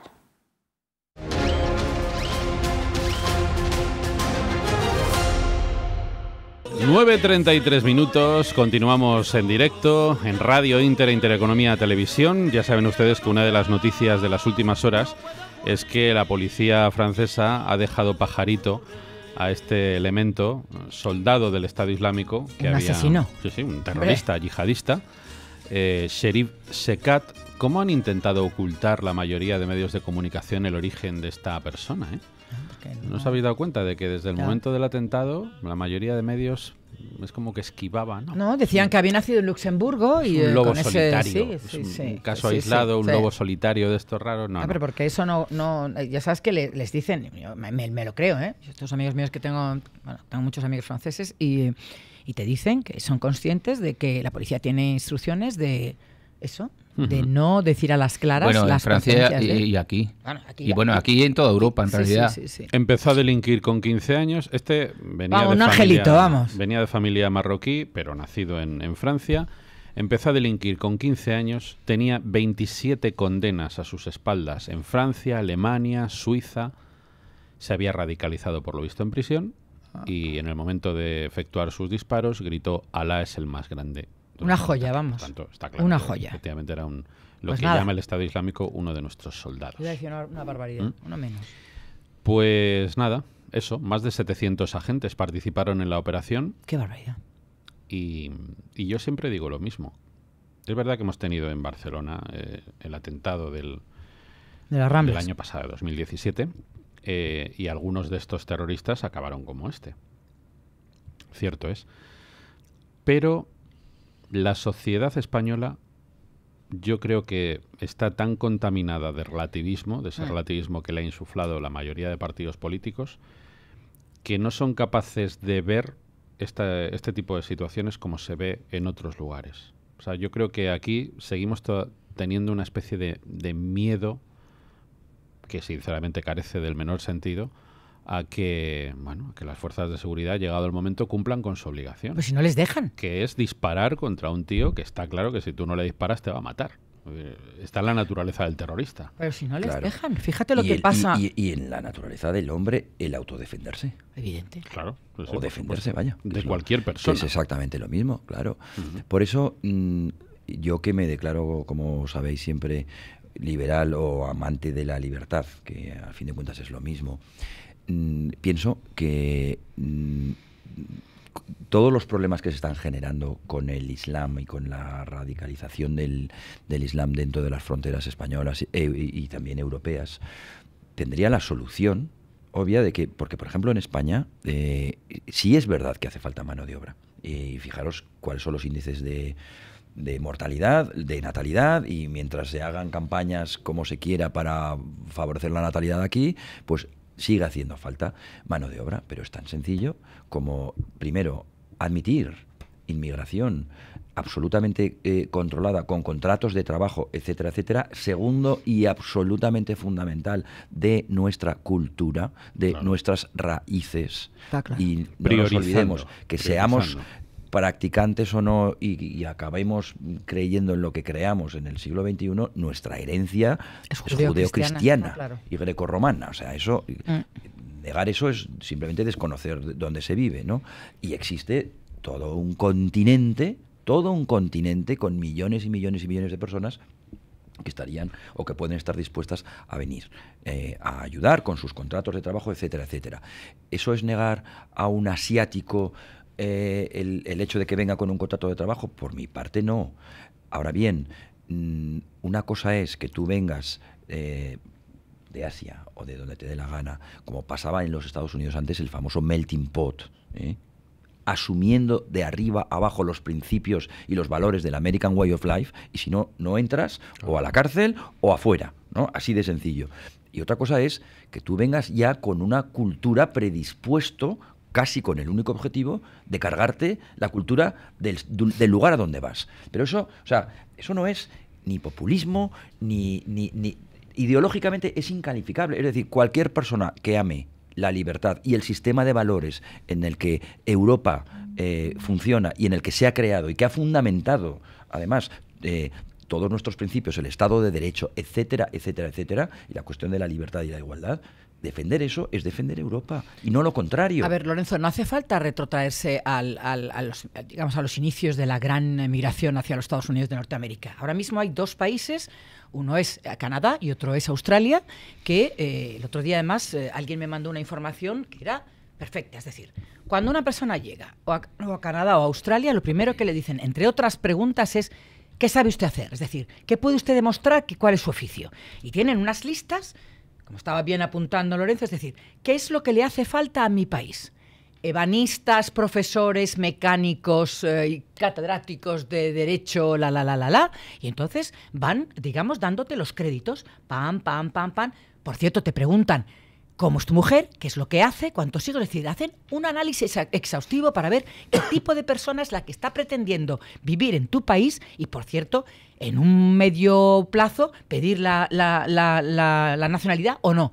Pero eso lo hacen Canadá, que no, creo, que no creo que en estos momentos puedas, es sospechoso de no ser un país democrático, y Australia, que ha sido siempre el país por excelencia. Además, no se corta un pelo, y tú no tal, y tú no entras. Claro. Ni de broma. Pero es Commonwealth. Es que Ya, estamos, ya, las- estamos claro, claro. siempre. Pero que escúchame, los ingleses pero- no nos gustan, no, pero es que tienen no, muchas pero cosas no, buenas. Pero no eso es así. Oiga, So- oiga. Mira, yo, yo No, siempre quiero digo- decir, quiero decir que Commonwealth en el sentido de que, de- Pero de- Lorenzo, de que es el sistema pero anglosajón. Lorenzo, que yo recuerdo dos tíos míos, hermanos de mi madre, uno estuvo, se eh, emigró a Argentina y el otro a Alemania, ambos dos con contrato de trabajo cuando yo era una enana y efectivamente iban con contrato de trabajo a No, claro. currar como ni se sabe, pero iban como tú dices. Estas son las reglas y como usted no las tal, le pongo la frontera pero rápido. Entonces, claro, es que tienes toda la razón. Por cierto, leí ayer que están volviendo cantidad de migrantes de Colombia y Ecuador que en el momento de la crisis se volvieron a sus países y están volviendo a España. Pero si es que es perfecto, como tú estás diciendo, son gente extraordinariamente encantadora, currantes hasta la médula, porque saben, por cierto, hago otro paréntesis, la, de los grupos hispanoamericanos que más eh, están en España, el más de presión, el venezolano. Sí. brutal la, la- la, digamos la colonia venezolana en, en España. Y me parece muy bien. Hombre habrá de todo como en la viña del señor naturalmente. Pero que esta gente viene a labrarse un porvenir a trabajar a pagar impuestos y que efectivamente tienen en condiciones normales y en teoría una mejor, digamos, imbricación en nuestro sistema, pero naturalmente si son, pero si son hispanos, ¿por qué se llaman así? porque son una, una extensión nuestra, si es evidente. Lo que pasa es que yo creo es América Latina. No, ni latina nada, hispana. Hispana. ¿Qué latina? ¿Por qué tenemos que decirlo de latino si son hispanos? No saben, no, sé si saben ustedes. Viene del latín. Ya, pero no. Sí, pero no. un momentito. Eh, yo no creo que sea discriminativo. No, no, sí, no es discriminativo, pero a mí me gusta mucho más una, decir... una cosita más, y lo que pasa es que estas cosas que estábamos hablando, yo creo que esto que de lo que hablas, hablabas en Canadá, en Australia, Juro por Dios que es verdad, ¿eh? no, no, si no, no lo pongo en duda, todo lo contrario. Lo que pasa es que yo creo que en Europa está pasando precisamente lo contrario. Eh, la mayor parte de los partidos que militan en los parlamentos europeos eh, abogan por una renuncia a, esa tradición, a esa raigambre grecorromana y judeocristiana Nunca y tratan de instalarse pues, en un relativismo que sin embargo es absolutamente absolutista contra esa raigambre. Entonces, ¿qué es lo que ocurre? Bueno, pues que están fomentando precisamente lo contrario, ¿no? La entrada... ¿Se quieren suicidar? ¿Pero quién es que no he oído bien? Es que, no, los países, los, los, Europa. Ah, Europa, vale. Pero la pregunta, y a mí nunca nadie me sabe contestar esto, es decir, ¿qué buscan con eso? ¿Pegarse un tiro en el pie y suicidarse? ¿O, cómo es eso? bueno, pero a los hechos me remito, además que lo vemos eh, diariamente. No, cómo está, como Europa está hecho unos zorros. Entonces, eh, es tan evidente lo que está sucediendo. ¿Cuántos partidos que forman parte de los diferentes parlamentos, eh, tanto nacionales como europeos, eh, abogan por esa tradición? ¿sabes? Por, Pocos. Polonia, este, ah, y los que llevan la voz cantante, Alemania, Francia, digamos incluso España, que es lo que están Francia, haciendo. Francia, y eso lo conocemos un poquito mejor, el problemón que tiene. Déjenme que les cuente, volviendo un poco al, origen de este asunto, que era la, eliminación de este malnacido, de este soldado del, Estado Islámico. Eh, hace unos días, eh, en esta misma semana, se ha presentado en el municipio de Mollet del Vallés el partido Renacimiento y ah, Unión de Europa, un partido musulmán. Tócate el pie, María. Que tiene, España que tiene la intención de presentarse en las próximas elecciones municipales. El PRUNE, que así se llama, no es un partido nuevo, sino que mm, surgió en el año 2010 en Granada y se presentó en las municipales de 2011 en varias ciudades. Su fundador es el sedicente escritor Mostafa Bakach el Amrani, ya fallecido, que entonces era vicepresidente de la Federación Española de Entidades Religiosas Islámicas. El PRUNE es hasta ahora el único partido musulmán fundado en la España peninsular y que además es de ámbito estatal. Constituye un salto cualitativo en lo que respecta a las modalidades de organización sociopolítica de los musulmanes en España y la primera piedra de la construcción política del Islam a nivel estatal, concretamente a través de partidos políticos islámicos. El PRUNE rechaza autoubicarse en el eje ideológico izquierda-derecha, como es normal, sus dirigentes han mostrado, eso sí, sus preferencias por entenderse con partidos de izquierda. Evidente, claro, qué tontería. Y en concreto, Vox ha sido el único partido que ya ha propuesto formalmente ilegalizar a este partido islámico de España, precisamente por ser islámico. Ah. Es decir, la misma razón, aunque en otro ámbito, la misma razón por la que tendrían que ser ilegalizados los partidos golpistas separatistas. Y para quien dude, claro, yo le recomiendo que lea un libro, un ensayo que se llama eh, Sumisión, una novela, eh, de, Hollebeck, sí, mm, que demuestra a las claras, es una hipótesis obviamente, pero qué ocurre cuando ¿Qué pasaría en Francia? se contemporiza con este tipo de partidos, de ideologías o de movimientos políticos.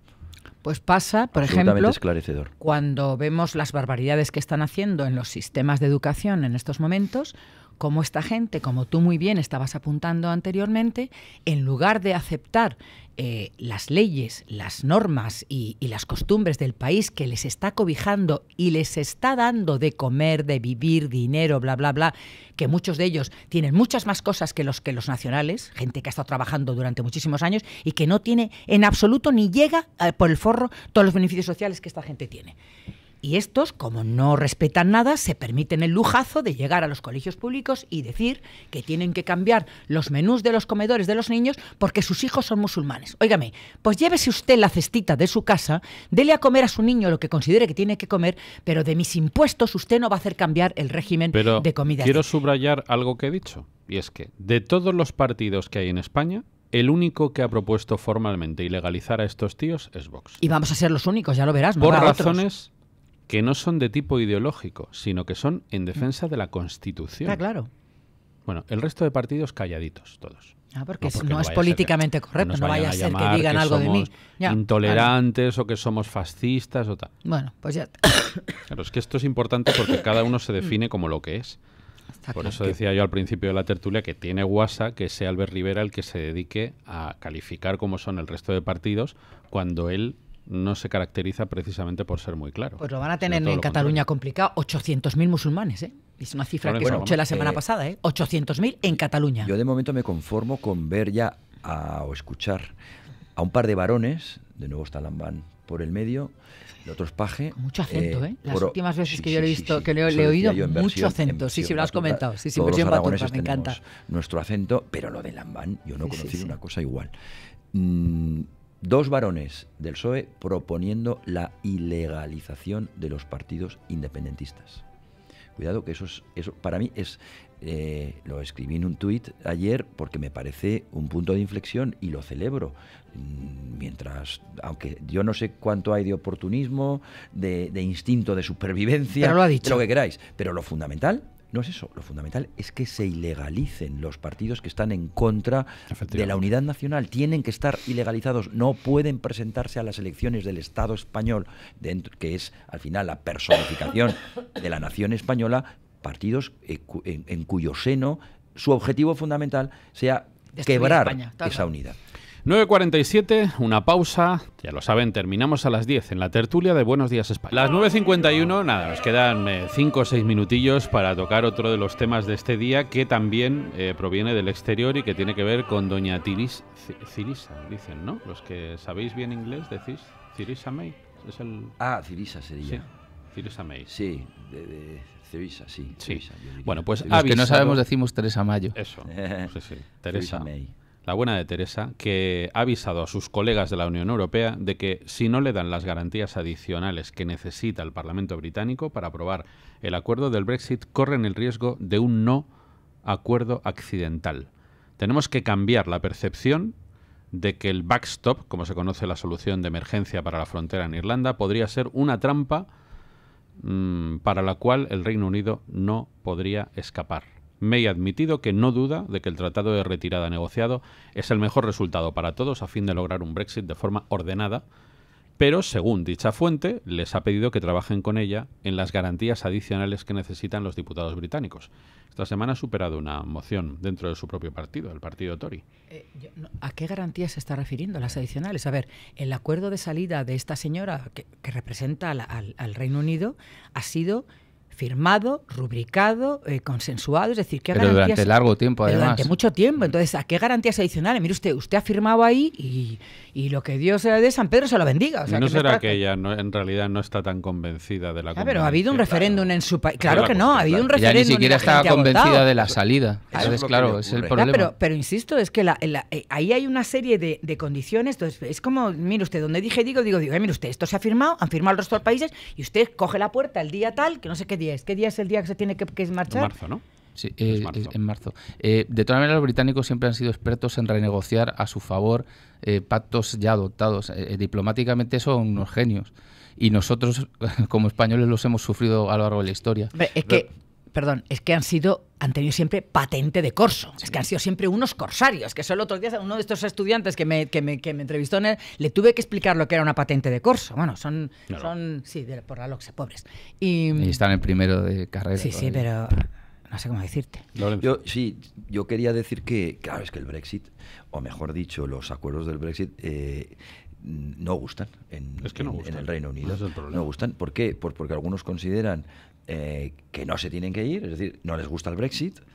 Yo no sé qué pasaría ahora si hubiese un, referéndum. Lo que pasa es que también entiendo que un referéndum no se puede producir cada media hora. y ustedes ya se posicionaron, pues ya, ya fueron responsables o deberían haber sido responsables en relación con lo que querían, por un lado. Y los que se quieren ir, los que están a favor del Brexit, no les gusta este Brexit. ¿No? ¿Por qué? Pues por, fundamentalmente por el tema norirlandés. Porque, ah. porque, porque al final hay ahí un, es la entrada y la salida. Es decir, oiga, que es que con, este, con estos acuerdos aquí no hay Brexit. Porque mm. aquí va a seguir entrando y saliendo. Porque queda ahí una, una abertura muy importante. Luego, yo no sé, si os digo la verdad, yo no sé qué va a ocurrir. Mm, yo me temo que habrá otro referéndum, más pronto o más tarde. Yo me temo que sí. Sí, Seguro que lo habrá. Eh, y yo creo que este... Me temo, tampoco sé si es un temor, quiero decir, sospecho, vamos a decirlo así. Eh, yo creo que, que, este asunto del Brexit em, ejemplifica bien, o sea, hace muy visible lo que sucede cuando tú estás dispuesto a asumir lo que dice la ciudadanía, sea lo que sea lo que diga, y la ciudadanía, como parece evidente en este caso, vamos, yo estoy convencido de ello, no tiene suficientes elementos de juicio para hacer una votación sensata y razonable y pensando en el interés colectivo. tú vas a votar y votas por lo que yo creo, por lo que me apetece, por un montón de razones. Pero ¿realmente se están pensando bien en el interés colectivo? O sea, ¿al Reino Unido lo que mejor le viene de verdad es salir de la Unión Europea? Es que no. Es que evidentemente no. Yo entiendo que solo sea por razones económicas. Yo, creo que no yo creo que no les interesa. Otra cosa es que esta Unión Europea sea un desastre. Bueno, pero eso se ¿eh? puede reformar. Pero eso para todos, Lorenzo. para todos. Exacto. Pero eh, yo creo que en Europa y sobre todo desde el punto de vista económico tenemos que tener una ligazón porque está claro vamos. porque bueno ya vemos cómo está discurriendo el mundo los efectos de la globalización que, tiene buenos y malos y entonces los malos hay que paliarlos y se palían precisamente pues a veces uniéndose. Incluso para una nación como, como Inglaterra que sin renunciar a soberanía sin renunciar de acuerdo pero hay una serie de cuestiones que yo creo que al Reino Unido probablemente no le a mi modo de ver ¿eh? no no le no le interesa. Otra cosa es que visceralmente ellos se hayan dado cuenta que es lo que más se nota de los efectos perversos que está teniendo la globalización en según es un voto visceral. sitios y, lo que es la propia Unión Europea. Claro, es un voto visceral, pero no es un voto claro.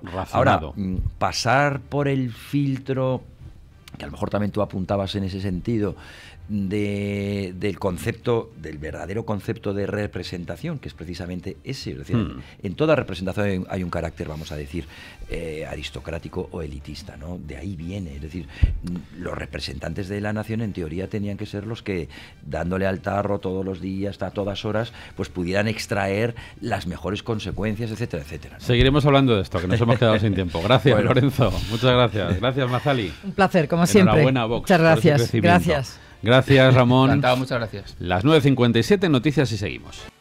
Son las 10 de la mañana, una hora menos en Canarias. Buenos días. En Diálogo Máxima, colaboración y una entrevista entre Pedro Sánchez y Quintorras, lo que ofrece el Gobierno a la Generalitat de Cataluña de cara al Consejo de Ministros del próximo viernes 21 de diciembre en Barcelona. Oferta que Carmen Calvo ha hecho por carta al vicepresidente catalán Per Aragonés, al que solicita la máxima colaboración en el ámbito de sus competencias en la organización de esta reunión ministerial. Reunión entre Torra y Sánchez que Torra no descarta, según fuentes del Gobierno. Un Consejo de Ministros ha dicho por su parte la titular de Defensa, Margarita Robles, que se celebrará en Barcelona con la subida del salario mínimo interprofesional, a pesar de que el Gobierno de Torra es incapaz, dice, de hacer política social en Cataluña yo supongo que al señor Torra, que es incapaz de hacer políticas sociales en Cataluña, que tiene a la gente en la calle protestando contra él, el que el gobierno de España incremente el salario también para los ciudadanos de Cataluña, eso no le gusta, lógicamente. Consejo de Ministros, el del próximo 21 de diciembre, que espera el titular de Exteriores, en Josep Borrell, se desarrolle con normalidad.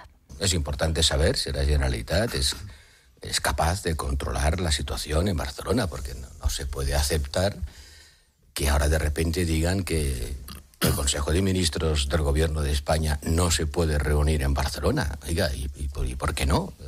Nos reunimos en Sevilla hace unas semanas. ¿Y por qué no se va a poder reunir el Gobierno en las distintas capitales de las comunidades autónomas españolas?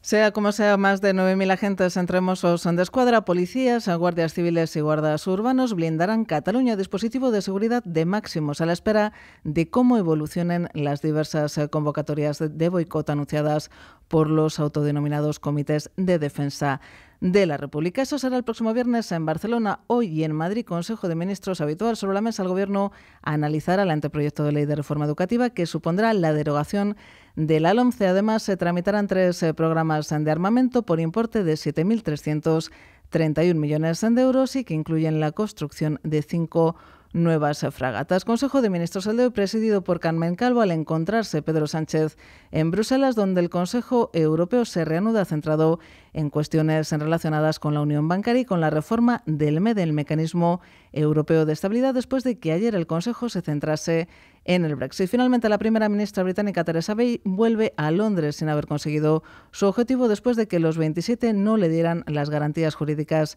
que le piden en Westminster sobre la frontera entre las dos Irlandas. Donald Tusk es el presidente del Consejo Europeo. El Consejo Europeo se reafirma en sus conclusiones del 25 de noviembre de 2018, en las que aprobó el acuerdo de retirada y aprobó la declaración política. La Unión respeta este acuerdo y tiene la intención de proceder a su ratificación. No está abierta a la negociación. El Consejo Europeo que pide que se profundice en la preparación a todos los niveles de las consecuencias de la retirada del Reino Unido, teniendo en cuenta todos los escenarios posibles. De vuelta a nuestro país en clave económica, la inflación pisa el freno, cae seis décimas en noviembre para quedar en el 1,7% interanual, su nivel más bajo en siete meses, debido en parte, dice estadística, al abaratamiento de los carburantes y de la electricidad, que ayudó a contener la subida de los precios del transporte y los relacionados con la vivienda. La información de los mercados en tiempo real.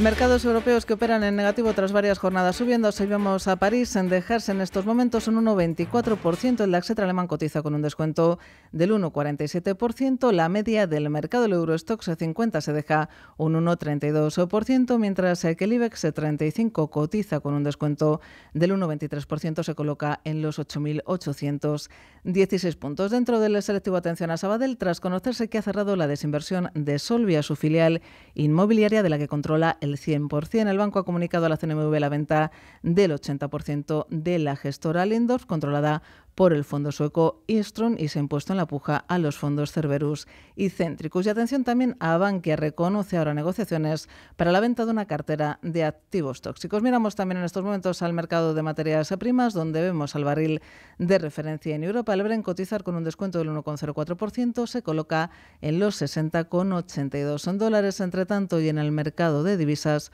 un euro se compra y se vende a 1,1293 dólares. Y hasta aquí las noticias. Más información en intereconomía.com.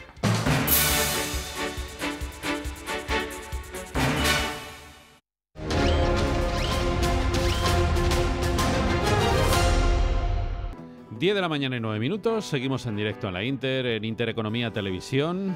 Han escuchado la tertulia, las noticias, ya estamos en el tiempo de magazine con Fernando Ballesteros y Andrea Valencia. ¿Qué tal chicos? Buenos días de nuevo. Hola Rafa, buenos días. ¿De qué se habla en redes sociales, Ferchu? Pues vamos a ver. Eh, en las últimas horas se ha hablado bastante de lo que le sucedió eh, en Estocolmo al vocalista, ex vocalista de una banda mítica llamada Bauhaus, una banda eh, gótica que triunfó sobre todo en la década de los 80, mitad de los 80. Bueno, pues este vocalista Peter Murphy, que está girando, de hecho hace 20 días estuvo en Madrid, ayer estuvo en Estocolmo, y en un momento de de la actuación tuvo un pequeño, un pequeño problema. Bueno, él canta así. Ojo que esta canción es muy bonita, así sin parties. Sin parties, Bela Lugosi's Dead, otro clasicazo de Bauhaus. Bueno, el caso es que él estaba tocando en Estocolmo y en un momento que además he podido ver la, la actuación, tira alguna botella. Claro, le debió dar a alguien al público y hacerle daño. ¿Cómo que tira? ¿Pero el cantante? Sí, sí, el cantante tiene una botella así. Hombre, hasta ahora habíamos visto al público tirando botellas al escenario, pero del escenario al público. Alguna vez había visto también, pero. Pero vamos, eh, ha llamado mucho la atención pues porque le ha dado a una. Eh, a una fan, la hirió y entonces eh, la seguridad decidió expulsar del concierto a Peter Murphy. Claro, era el cantante. ya, pero es que, vamos a ver, puede ser el cantante o puede ser incluso a lo mejor un cargo electo. Pero si te dedicas a lanzar objetos al público. Ya, bueno, pero es que sí, es. Claro, pero claro, no puedes expulsar al cantante, tienes que suspender el concierto. Eso es. Si expulsas al cantante. claro. O sea, lo que procede es la suspensión del concierto, obviamente. Bueno, la siguiente escena es eh, Peter Murphy en la puerta. Mm. Eh, con varios miembros de seguridad, eh, se ve que están intercambiando impresiones y hay un brazo de, Murphy que eh, vuela hacia uno de seguridad. Yo creo que contacta. Y la siguiente escena es varios miembros de seguridad inmovilizando en el suelo a Peter Murphy. ¿Sabes si había tomado algo aparte de la cena? Sí. vamos, no se sabe a ciencia cierta porque no se ha realizado el control antidoping, pero, Pero es, yo es previsible. yo puedo asegurar, eh, me juego, pongo la mano en el fuego porque Que había Peter tomado había alguna bebida espirituosa, ¿no? Seguramente. Bueno, eh, sí, también bebidas. Y Algo con taurina. Sí, efectivamente. Y, y, vamos, estoy convencido de que, de que Peter Murphy fue generoso en la ingesta de, de sustancias prohibidas. Bueno, aparte de esto, Rafa, eh, se ha hablado mucho en las últimas horas de ese, ese nuevo capítulo de el intento de desahucio de Pepi en la calle Argumosa, en Lavapiés. Sí. Por cierto, después de una sentencia en Europa que eh, declaraba ilegal esa, esa actuación eh, judicial, bueno, pues hoy tampoco se ha llevado a cabo y La quinta Pepi- vez, ¿no? La quinta vez, eh, Pepi se ha, se ha quedado en casa, se ha paralizado ese desahucio. Y luego en baloncesto, Harden es noticia esta madrugada porque ha metido 50 puntos, pero sobre todo porque ha hecho un triple doble con 50 puntos. Eh, ha sido 50 puntos, 11 rebotes, 10 asistencias. Y esto es, es muy difícil hacer un triple doble con más de 50 puntos y Harden es la cuarta vez que lo consigue por lo que ha entrado en la historia. Y antes de cederle a Andrea, quiero decirte que ayer Ángel Torres en una comida eh, con, con eh, el deporte de Getafe, bueno, la típica gala navideña. El Torres es el presidente del Getafe. Presidente del Getafe. No sabemos si antes de la comida o justamente después de la comida, por lo que voy a decir. Tiene una intervención. mm, No sé si Ángel Torres era muy consciente de. Bueno, la grabación iba a salir. El sonido no es muy. No es muy claro, no es muy allá, por lo tanto aquello debía ser un poco en petit comité, pero está claro que alguien está grabando, seguro que había cinco o seis grabando ahí con los teléfonos. Ha salido la intervención de Torres en un momento dado en el que dice, yo sé que las eh, federación, la liga, aunque no señala ninguna de las dos. Yo sé que, que las instituciones quieren que bajen y van a hacer todo lo posible este año dos equipos madrileños. Pero bueno, intentaremos no ser nosotros. O sea que esa es la información que se maneja en, en algunos equipos de, de primera división. Pero es que eso, no sé, tiene pinta como de... Porque hay muchos equipos madrileños, tal vez, pero... Ya, pero, pero no sé, es que me parece una cosa totalmente disparatada. ¿Y qué interés en concreto para qué? O sea, Pero esas, esas palabras, de, claro, esas palabras de Torres van a, van a escocer mucho la Liga de Fútbol Profesional y en la Federación. Y si lo que pretendía era poner eh, la tirita para que no se produjeran malos arbitrajes al Getafe, me sí, parece le va que a salir el tiro por la culata. el efecto va a se ser el contrario. Todo se ha dicho, el Getafe va muy bien en la Liga, vamos, yo no creo que vaya a bajar el Getafe, pero bueno. Bueno, Igual que bajan el Rayo y el Leganés y todos pensamos, uy, lo que dijo Ángel Torres. efectivamente, eso suele pasar. Andrea, ¿qué tal? Cuéntanos. Hoy es el día de San Juan de la Cruz. Hombre, Un 14 de diciembre falleció el patrón de los poetas. sí, hombre, sí, sí. Encontré una copla. Vamos a Doctor ver. de la iglesia. Vamos. Tiene una copla. Vivo sin vivir en mí y de tal manera espero que muero porque no muero. Claro. Qué bonito. Sí, sí. Muy Qué bueno. bonito lo ha dicho también. Y en otras noticias está la, la- a ver, una de las Kardashian, Kendall Jenner, eh, Hemos bajado de San Juan de la Cruz a las a las Kardashian. Kardashian. Pero me siento un poco como los paracaidistas, ¿sabes? o sea, una velocidad. Sin paracaídas. Exacto. Sí, sí. Eh, puede que ella no sea la mejor pagada de, de las hermanas Kardashian, Hmm. pero está ganando más que cualquier otra modelo en el mundo. Por segundo año consecutivo, eh, según la revista Forbes, es la, mo- la- la modelo mejor pagada del año. Eh, está liderando el ranking con una cifra de 22,5 millones de dólares al año. Y es la que menos gana de las No hermanas. está mal. Tiene un buen pasar, Pues sí, como se suele decir. preocupaciones de dinero no tendrá. Bueno, oye, pues cuando se lo están pagando, pues habrá alguien dispuesto a, a ello. Hombre, eso está claro. O estará ganando también lo suyo, por su parte. Gracias, Andrea. Las 10 de la mañana, 16 minutos. Vamos a llamar, como siempre, a nuestro buen amigo Albert Ronald Morales. 10 de la mañana, 18 minutos. Pues así, con este son, empezamos hoy esta sección. Albert Ronald Morales, amigo, buenos días. Buenos días, Rafael. Un saludo para ti, para el equipo que te acompaña y los oyentes. Bueno, hoy va- amanecimos con Pachanga de la cubana, de, de esa de, de por allá de los 1960, una orquesta, eh, lo que no me acuerdo es cómo se llama, pero, pero este es un... Pero no lo va a decir Joaquín Fernández ahora mismo. Vale, pues este es un ritmito sabroso, esta es la famosa Pachanga cubana. Estamos consultándolo, de momento no lo hemos encontrado, pero lo encontraremos y lo diremos a los oyentes. En todo caso, un día hoy también donde hay que darle un poquito de calorías al cuerpo y sobre todo buenos chutes de vitamina C, como siempre decimos Albert, están esta temporada los kiwis maravillosos, Albert, ¿eh? Cierto. Eh, las frutas de invierno, fíjate que las mandarinas están deliciosas, los kiwis. Pero tienen un La- saborazo los kiwis y algunos Claro. españoles, ¿eh? eh, la mayoría, la mayoría, porque tenemos una, una área sembrada, cultivada de kiwis eh, totalmente españoles que son la producción, la mayoría de la producción realmente la se hace aquí, Rafael. ¿Qué hace el organismo, Albert, en este tiempo cuando tú le das en ayunas un kiwi? Bueno, pues es que imagine que el kiwi tiene 227 miligramos por cada 100 gramos de vitamina C. Madre Es mía. decir, que lo que lo que hace el kiwi es el chute que tú hablabas. O sea, te da, te da musculatura contra los gérmenes y las bacterias, ¿no? Y los virus. Totalmente, totalmente. Es, es darle, darle un, es colocar un escudo Mm. contra los virus, bacterias, gérmenes, hongos, en fin, por la gran cantidad de, de vitamina C que tiene. Porque fíjate que la siguiente fruta que le sube, obviamente que la diferencia es grande, mm, es la guayaba, que tiene 350 miligramos por cada 100 gramos de, de guayaba. Y luego está la cerola, que esa es la, la supercampeona, 3000 miligramos por cada, por cada 100 gramos de esta fruta. Vaya. O sea que, eh, aunque es superado, pero, pero dentro, digamos, de las frutas que están más a nuestro alcance, el kiwi sería, por El así campeón. decirlo, el campeón, ¿no? El campeón, sí, es el campeón. Hay que decir además, Albert, que están a un precio estupendo, los Pero kiwis muy, este año. muy Un económicos. precio muy asequible, con una calidad buenísima y además se puede tomar tanto por el tema de la vitamina C como por los beneficios para el tránsito intestinal, Albert. Claro, porque las enzimas digestivas que tiene lo, lo permiten que la onda peristáltica funcione bien y quitamos esos eh, atascos que a veces eh, nos da. Pero, pero tiene otras propiedades. Si es el verde, tiene clorofila.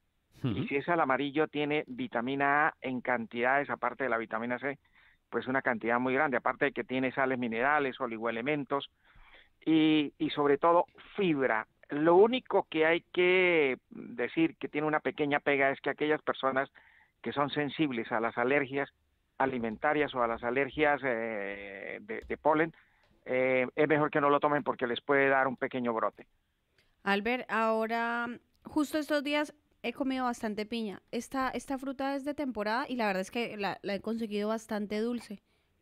Pues fíjate que la piña empezó a ser muy de Navidad hace unos 10 años, no sé si se acuerda Rafael, Sí. que empezamos a hablar que la piña empezaba a aparecer fruta de Navidad. Es verdad. Pues es que es curioso porque en este momento la mayoría de piña que están trayendo y por eso es tan dulce es de la isla del Hierro, aquí de Canarias, es muy española, y la otra piña que se está trayendo es traída de, Costa Rica, que también es muy dulce y, es una variedad eh, muy sabrosa y a muy buen precio. Fíjate que en este momento donde vienen las grandes cenas, la invitada de honor ciertamente es la piña. Qué bien, pues la verdad es que es una auténtica gozada el disfrutar de esas frutas absolutamente espléndidas, que además, si uno quiere, Albert, las puede pedir en esas cestas navideñas que estáis preparando, ¿no? Claro, fíjate, por ejemplo, la guayaba, que la gente no la conoce y que es tan rica. Dice, póngame no. una guayaba en su cesta, ¿no? Exacto, póngame dos guayabas. Yo creo que si Andrea llegara a pedir, eh, pediría la cesta llena de guayabas, sí, me encanta. porque es la fruta de Santander, que son el sitio donde más se produce guayaba es Santander. Además, se Santander, Colombia, ¿no? Exactamente, sí. Bueno, menos mal que Rafael nos, nos, nos rectifica porque si no confundimos a los oyentes. Eh, y luego y luego hay otras frutas que el, el, el- el oyente que quiera pedir la cesta navideña saludable, pues puede pedirla. Igualmente los vinos sin alcohol, eh, la champán sin alcohol, inclusive hay una sidra sin alcohol, mi querido Rafael. A los que Buenísima, además. las sidras, sí, Buenísima. también la hay.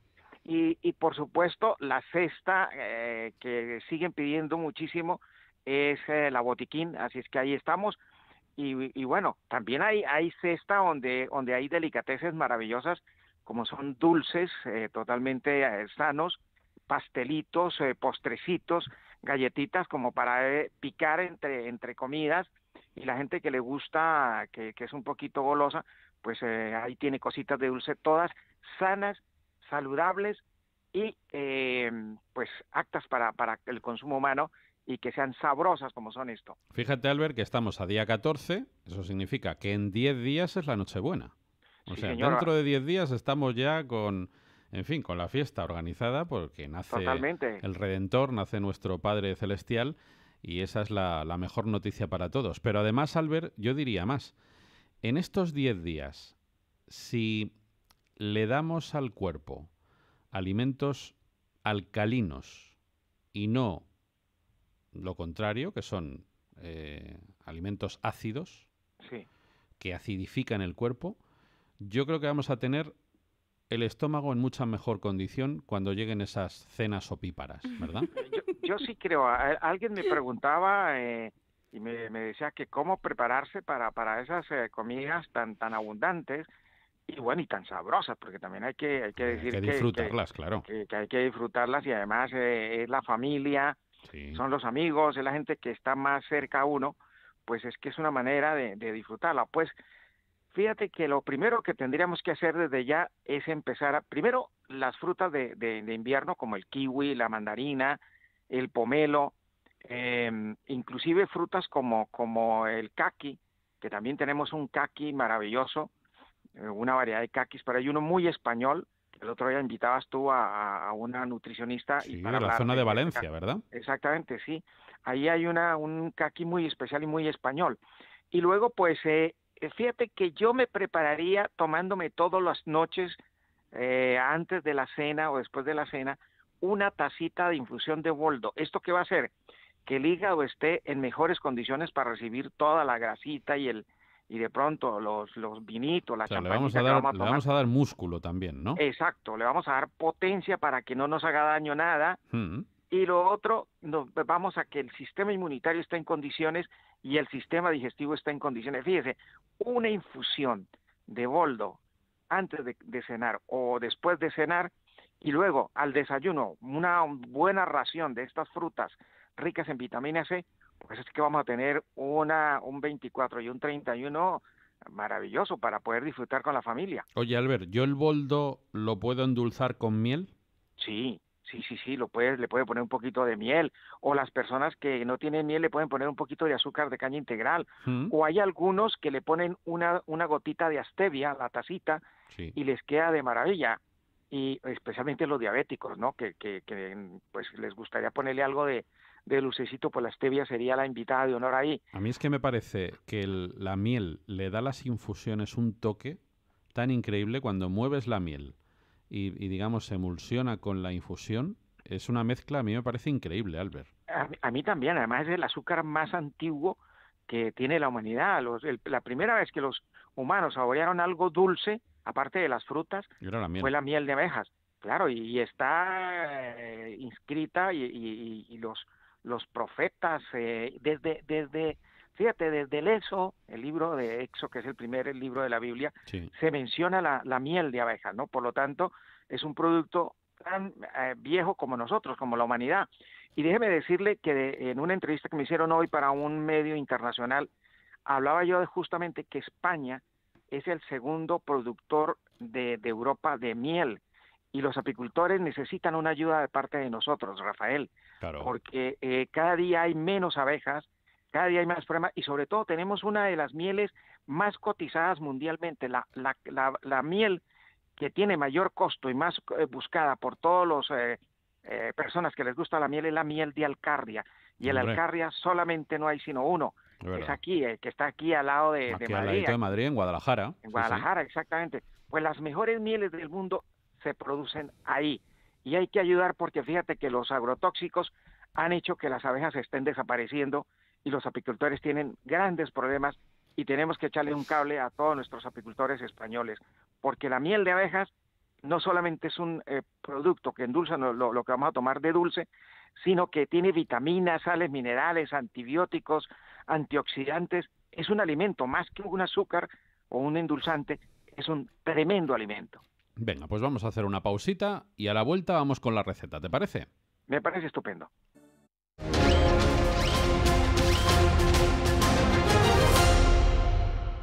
Madre mía, Van Morrison. ¿Y cómo, cómo interrumpo yo a Van Morrison para dar una receta ahora, Albert? ¿Cómo se hace Pues eso? es que, y además con esta, este temita tan bonito como lo canta de bien el hombre, y que la letra, hay que oír, eh, hay que entender la letra, que es, eh, es una belleza, y la música, y la voz de este hombre, pues eh, sí, francamente que es casi un sacrilegio, mi querido Rafael.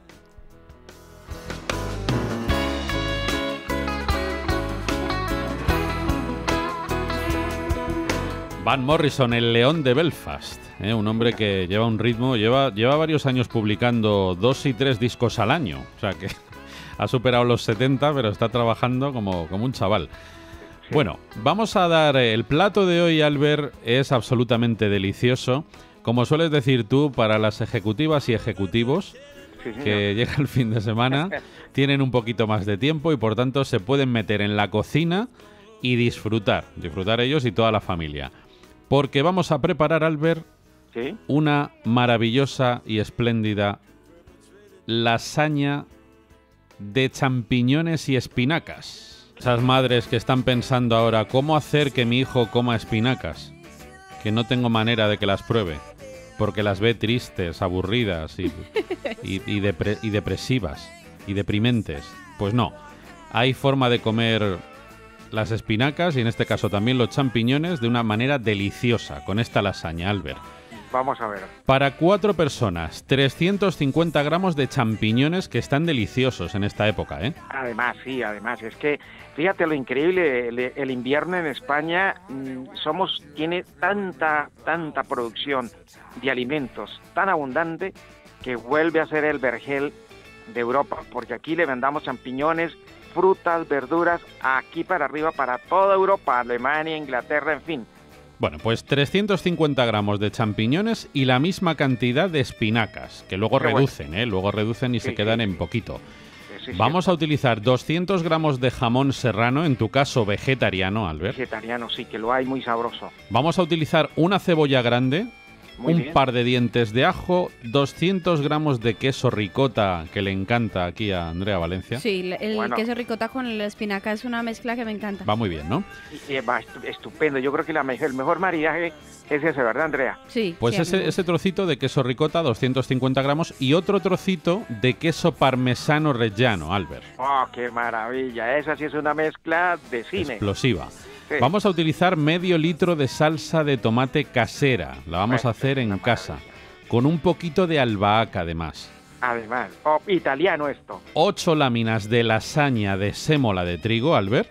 Muy bien. Vamos a utilizar agua para la cocción, aceite de oliva virgen extra, sal y perejil. Todo absolutamente natural. Aquí no hay grasas hidrogenadas, ni conservantes, ni ninguna de esa basura. Perdonen que hable así, pero es que es basura, Albert, lo que, lo que se le echa a algunos alimentos. ¿eh? Pues esta sí es para que repite. Bueno, tú y yo repetiríamos. Sin duda. Vamos a poner abundante agua a cocer en una cazuela grande. Sazonamos, le ponemos un poquito de aceite de oliva, cocemos ahí nuestras láminas de lasaña durante 12-15 minutos. Limpiamos y picamos las espinacas, las cocemos, escurrimos y mezclamos con los quesos ricota y parmesano. En una sartén ponemos a dorar la cebolla y los ajos finamente picaditos. Cuando tome color, añadimos el jamón, cortado en tacos, rehogamos brevemente e incorporamos los champiñones también laminados. Cocinamos todo 5 minutos, le ponemos la salsa de tomate y la albahaca, Mientras tanto, vamos colocando dos láminas de lasaña ya cocidas sobre un molde de cristal apto para el horno. Cubrimos con el relleno de espinacas y queso, otras dos láminas de lasaña, relleno de champiñones, dos láminas de lasaña, alternando las capas hasta terminar dejando, lógicamente, la última, el relleno de champiñones. Tapamos el molde con papel de aluminio, introducimos en el horno 200 grados durante 10 minutos Sacamos el molde, espolvoreamos con quesito parmesano rellano Ah. y un poquito de perejil, Madre gratinamos y servimos esta absoluta delicia. Esto se lo come Raimundo y todo el mundo, Albert. Yo sí creo, y, y hasta más, y hasta más, porque es que fíjate lo que tiene, además desde el punto de vista nutricional también es, es un es un portento en, en cuanto a la nutrición. Es plato único, ¿no? Eh, sí, es que yo creo que no más. Además, eh, Un trocito de pan, ¿no? bueno, bueno, sí, porque hay que rebañar, porque salsita va a quedar. Hay que remojar el tomate, el tomatito el casero. tomatito, la salsita va a quedar y, es un pesar. Por eso nosotros somos ya el club de los rebañones, ¿no? Totalmente. Así es que vamos a, a comentarle a los oyentes qué van a comer con esta lasaña maravillosa. Bueno, la, las, eh, la- lo que tiene que ver con la, con la pasta, pues ahí hay un 9% de proteína, Luego, eh, el jamón, pues tiene un 18. Hay el que decir, Albert, perdona que te interrumpa, que esta pasta, al ser de sémola de trigo, tiene menos calorías que una pasta refinada normal. Claro, y tiene más fibra y por supuesto es más saludable. Eh, lo que decíamos, el 18% del jamón, eh, 20% de los champiñones y los quesitos, pues cada uno tiene eh, un 18%. Como ven, la cantidad de proteína es impresionante. Luego la espinaca. Fíjate que uno de los problemas que tenemos en este momento, bueno, los hombres no tanto, pero las, las mujeres y los niños en este momento es que estamos ya teniendo vaquito el hierro. Hay que tomar El caso de las mujeres es por la menstruación. por, por la regla, sí, claro. Entonces ahí se les baja un poquito el hierro. Sí. Y los niños porque, porque eh, bueno, eh, comen eh, un poco mal. eh, cuando se sirve legumbres, pues, pues se hacen los, los, remo- los remolones. y en fin, eh, comen un poco mal en invierno. Hay que prepararles una lasaña como esta para que coman bien. Y la, la espinaca tiene bastante, yo diría que junto con el albaricoque eh, y, la, y la alcachofa son los tres productos más ricos en hierro. Pues Qué aquí bien. tenemos las espinacas. Eh, tiene fibra, oligoelementos, micronutrientes, fitoquímicos, eh, antioxidantes y obvio, como tiene el tomate, tiene el antioxidante más potente que es el licopeno. Por lo tanto, este plato es para tomarlo así, calientito y para ti y para mí, Rafael, dos porciones. No te y un quepa la menor trozo de pan. Eh, Totalmente. y, un, y un trozo de pan grande, ¿no? Porque hay que rebañar bien la cosa. Por favor. y- Albert, y- eh, si se cambia la pasta de sémola de trigo por pasta de maíz y arroz, que es la que lleva sin gluten, ¿cambia mucho el nivel nutricional? No, no, al contrario, lo sube. Al contrario, lo sube, Qué porque el, el- la, el- la pasta, además, con el maíz, ¿cómo queda de rica Riquísimo. la lasaña? No Sí. sé si la han probado Sí, sí. con maíz y con arroz, queda mucho Yo lo he más tomado rica. también con maíz y quinoa.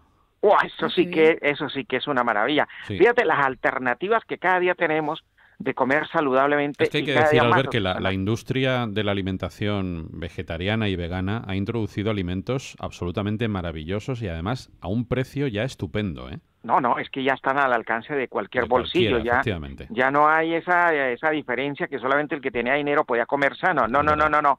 Ahora podemos comer todos sanos si queremos. Pues esa alternativa que propone Andrea, eh, yo me la apunto porque queda mucho más rico, más nutritivo, más saludable y por supuesto para los niños esto es maravilloso. Además, para el que tiene colesterol, el que está teniendo problemas de, de- de obesidad, pues esto no va a subir, porque fíjate las kilocalorías, que aquí es donde viene el problema de, de la gente que está con un poquito de, de peso. Pues esta, este plato, 100 gramos, no pasa de 220 kilocalorías. Pues yo me voy a ir a 500 porque me voy a poner dos trozos, Albert. Claro, y con el pan llegamos a 500, pero como el cuerpo necesita entre 2000, entre 1200 Claro. y 1400, 1500, no tenemos ningún problema. Luego nos hacemos una cena de estas. Eh, ya sabes que yo soy del club de Janet, de los que Ah, sí, cenamos una granada de estas de medio kilo, que se Pues- llena, pues, eh, se llena el- un plato hondo plato, se sí. llena con los granitos de la granada, impresionante. Claro. ¿eh? Pues pues Yanela que cena así todos los días en ahora que está en invierno porque la fruta Oye, Albert, qué ella bien se duerme después de cenar granada. No, no, no, eso es in- incomparable. Es que la- si la gente hiciera la prueba Sí. va va a experimentar el sueño y sobre todo que al otro día se levanta con unas ganas de hacer cosas porque si quiere uno comer el mundo con A la ver, para ser sinceros, Albert, para ser Sí. sinceros, porque a mí me gusta ser muy sincero con, con todo el mundo, pero también con los oyentes, obviamente, eh, alguien puede decir, hombre, es, es poca cena una granada. Claro, si te comes una granada y luego estás tres horas más despierto, pues, Pues no. seguramente vas a, vas a escuchar tus tripas. Sí. Sí, sí, sí. Pero los que nos acostamos prontito, es decir, pasa relativamente poco tiempo de la cena hasta que nos acostamos, es ideal, porque ya digo que eh, tienes el estómago lleno con los granitos de la granada y luego duermes al ver maravillosamente bien. Y te Bueno. levantas con hambre, claro, tienes Claro, que desayunar. ahí sí, ahí sí quiere uno desayunar apenas se levanta. Claro, sí, bueno, sí. pero fíjate que eso tiene una explicación científica, mi querido Rafael. Primero, porque las frutas son los alimentos más digestivos. Las frutas, eh, cuando llegan a nuestro estómago, solamente necesitan entre, entre 20 y 30 minutos para asimilarse. Sí. Es decir, para pasar del estómago a nuestro intestino. Por lo tanto, tú después de tomar eh, la, la, cualquier fruta, pero especialmente la granada, a la media hora puede irte a dormir tranquilamente y por eso duerme uno como un angelito, porque no hay ningún residuo y, y, y, el alimento ha pasado y ha hecho toda su función maravillosa que hace. Por eso cenar, como está cenando tú y como suena Yané ahora en invierno, pues es que duermen como, como, como Dios manda, delicioso. Eh, vamos a dar un teléfono para más información de este plato maravilloso y también pues para el silicio, para el tamarillo, para las cestas, para todo lo que hemos estado explicando, Albert. Oye, estoy, estoy verdaderamente asombrado. Hay gente que está haciendo la dieta del, pues el tratamiento del tamarillo para bajar de peso, que yo les digo, mire, ya no les quedan sino 10 días para la cena de Navidad. Pero les da tiempo, ¿eh? Yo creo que les da tiempo en 10 días. Yo creo que sí les da tiempo. Algunos les he dicho, mire, eh, lleguen hasta, hasta el 24, paren ahí, hagan 5 días de descanso y vuelven y arranca. Eh, bueno, el 8, de, el 8 de enero. Hay que volver el 8 de enero. sí, sí, porque, lo, porque el 6 viene la otra y viene el, el roscón viene la otra. Hombre, y el roscón es, es tremendo, ¿eh? eh bueno, eh, así es que el tamarillo ahí está, la gente lo puede pedir. Y las cestas navideñas, pues también eh, son las que, fíjate que tenemos plazo hasta el 20, a partir del 20 ya todo el mundo empieza a que se le lleve, eh, los pedidos que nos han dado fechas están entre, entre el 20 y el 23.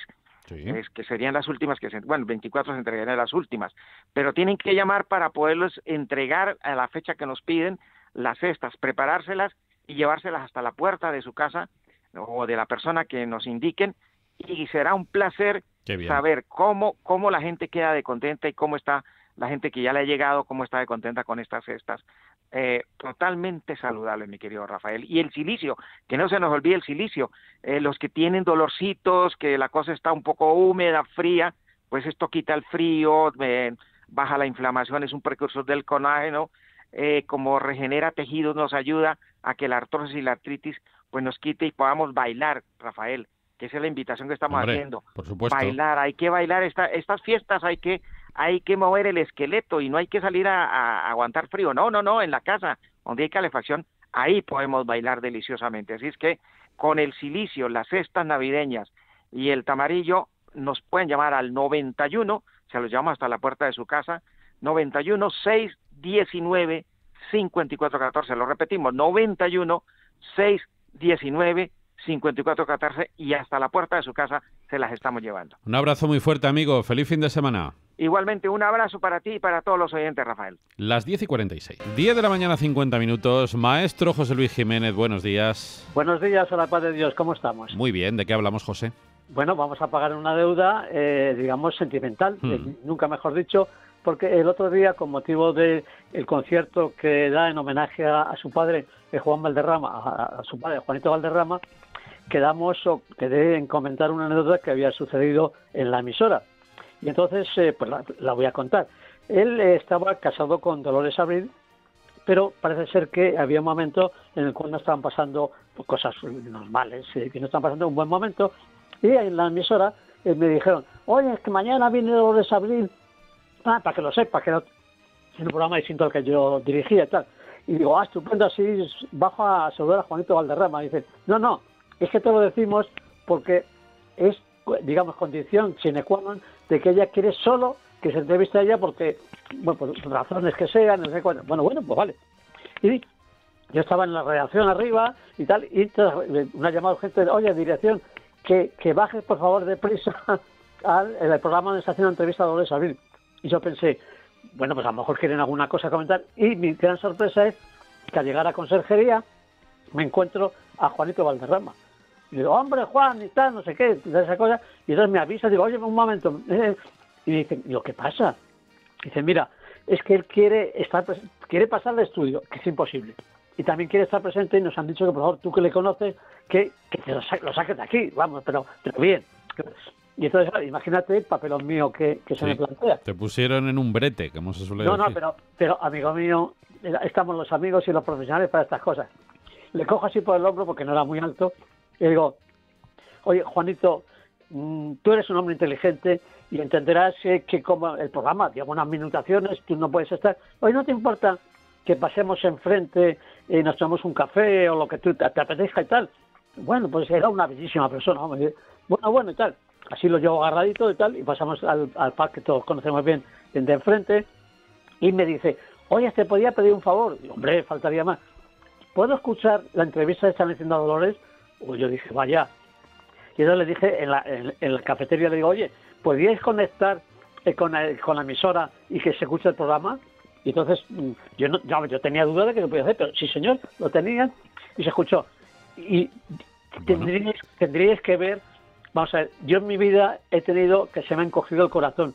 En un momento dado, sí se me echa a llorar y se apoya en mi hombro el amor increíble que le tenía a Dolores Abril. Bueno, pues una, una gran persona y una muy reveladora anécdota, la que has contado, José. Sí, sí, ¿eh? digo que de esas cosas que uno cuenta las que uno, digamos, ha, sido eh, testigo y, creo que hay que tenemos que hacerle un homenaje siempre porque era una persona fantástica y, fenomenal no sé si teníamos alguna música de él, sino por recordarlo, porque yo cantar por Valderrama, la verdad es que... Pero lo que, no tenemos es tiempo, José. Y, eh, pero si te parece, la semana que viene sacamos unos minutitos para hablar de él, ¿te parece? Bueno, pues me parece perfecto. Y entonces, eh, buen eh, fin de semana. Y ya que está hablando de música, hoy en el Wiki Center, Malú. Ah, muy bien, muy bien. Lo, apuntamos también. Feliz fin de semana, maestro. Gracias, igualmente. 10.53.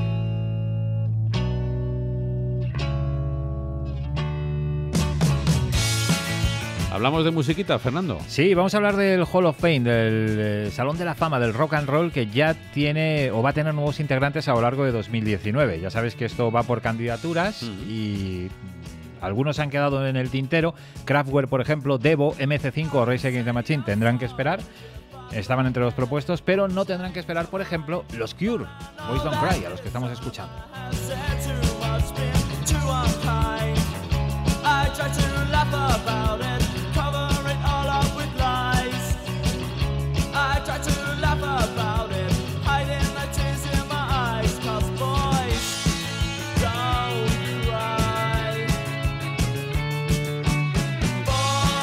Todos los grupos, eh, como The Cure, van a estar a lo largo, como decíamos, de 2019. Van a engrosar ese Salón de la Fama. El Museo de la Ciudad, recordemos, de Cleveland, en el estado de Ohio, está dedicado al recuerdo y a la memoria de los artistas más famosos e influyentes eh, de la historia que cada año incluye nuevos miembros. Eh, será en abril, en concreto, del próximo ejercicio, cuando tenga lugar la ceremonia de introducción en el Barclays Center de Nueva York. En ese momento entrarán The Cure, pero también entrará Radiohead, Stevie Nicks, Rosie Music, Los Zombies, Janet Jackson o Def Leppard.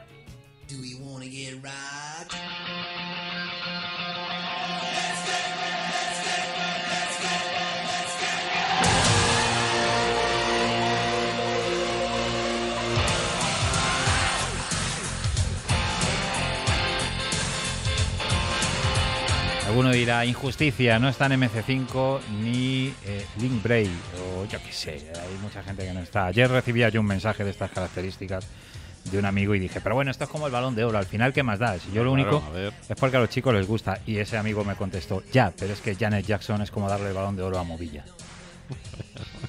un poco duro, ¿no? Bueno, yo dije al pato eso. Gracias, Fercho. Sí, Rafa. Tenemos que dejarlo aquí. Son las 10 y 56. Enseguida las noticias de las 11, ya lo saben. Después tienen una hora dedicada a la salud natural en formato de consultorio telefónico, ya lo saben, con el doctor Juan Márquez que va a aclarar cualquier duda que tengan relacionada con la salud de manera natural. Con Fernando Ballesteros y el doctor, enseguida, en cuanto acaben las noticias, y dos teléfonos 91 535 1614 o 533 90 21. Son las 11 de la mañana, una hora menos en Canarias. Eh, buenos días. El presidente de la Generalitat, Quintorra, no descarta reunirse con Pedro Sánchez el próximo viernes en Barcelona cuando el Consejo de Ministros se reúna en la ciudad condal. Así lo confirma fuentes de la Generalitat después de que por carta la vicepresidenta del Gobierno, Carmen Calvo, haya pedido ese encuentro. Iván Romero. En una misiva dirigida al vicepresidente catalán, Per Aragonés, la ministra Calvo pide no solo esa reunión entre Sánchez y Torra, sino que se solicita la máxima colaboración en la organización de esta reunión ministerial. Consejo de Ministros del próximo viernes 21 de diciembre que espera el titular de Exteriores, Josep Borrell, que se desarrolle con normalidad. Es importante saber si la Generalitat es, es capaz de controlar la situación en Barcelona, porque no, se puede aceptar que ahora de repente digan que, el Consejo de Ministros del Gobierno de España no se puede reunir en Barcelona. Oiga, ¿y, y por qué no? Nos reunimos en Sevilla hace unas semanas. ¿Y por qué no se va a poder reunir el gobierno en las distintas capitales de las comunidades autónomas españolas?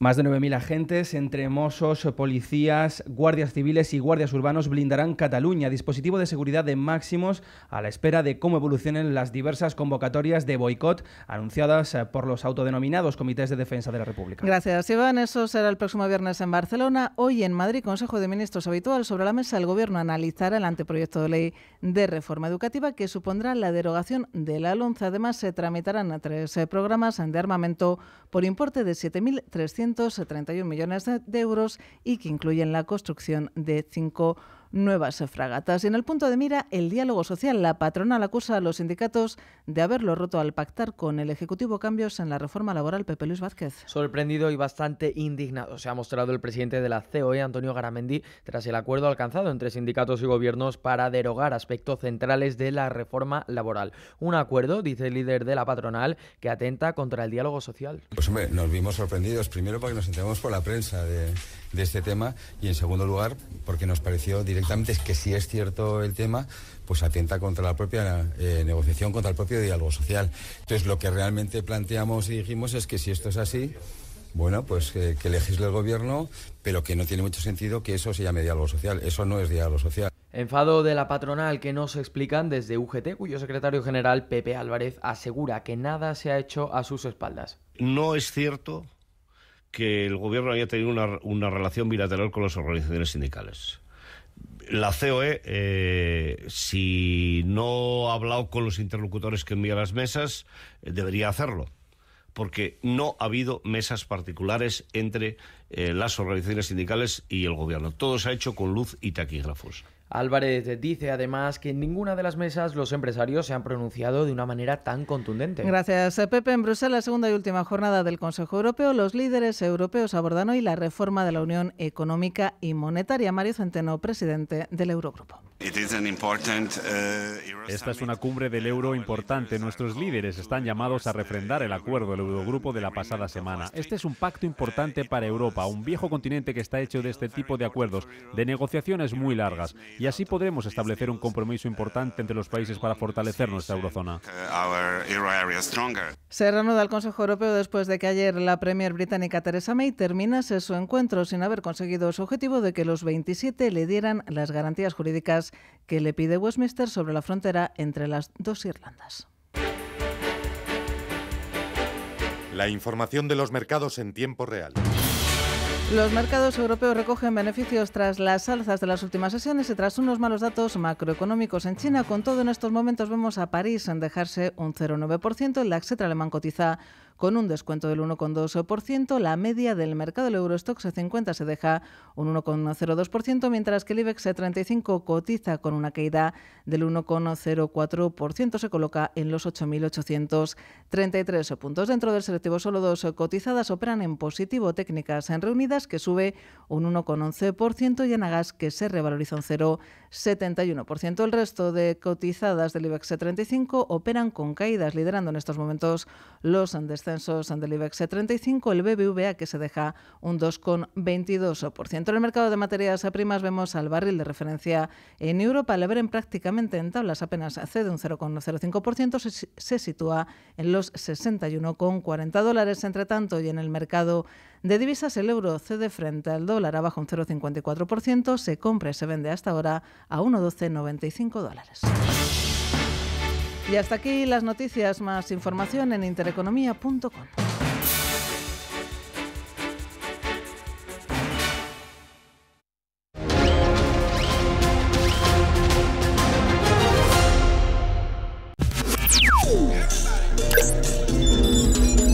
Now, everybody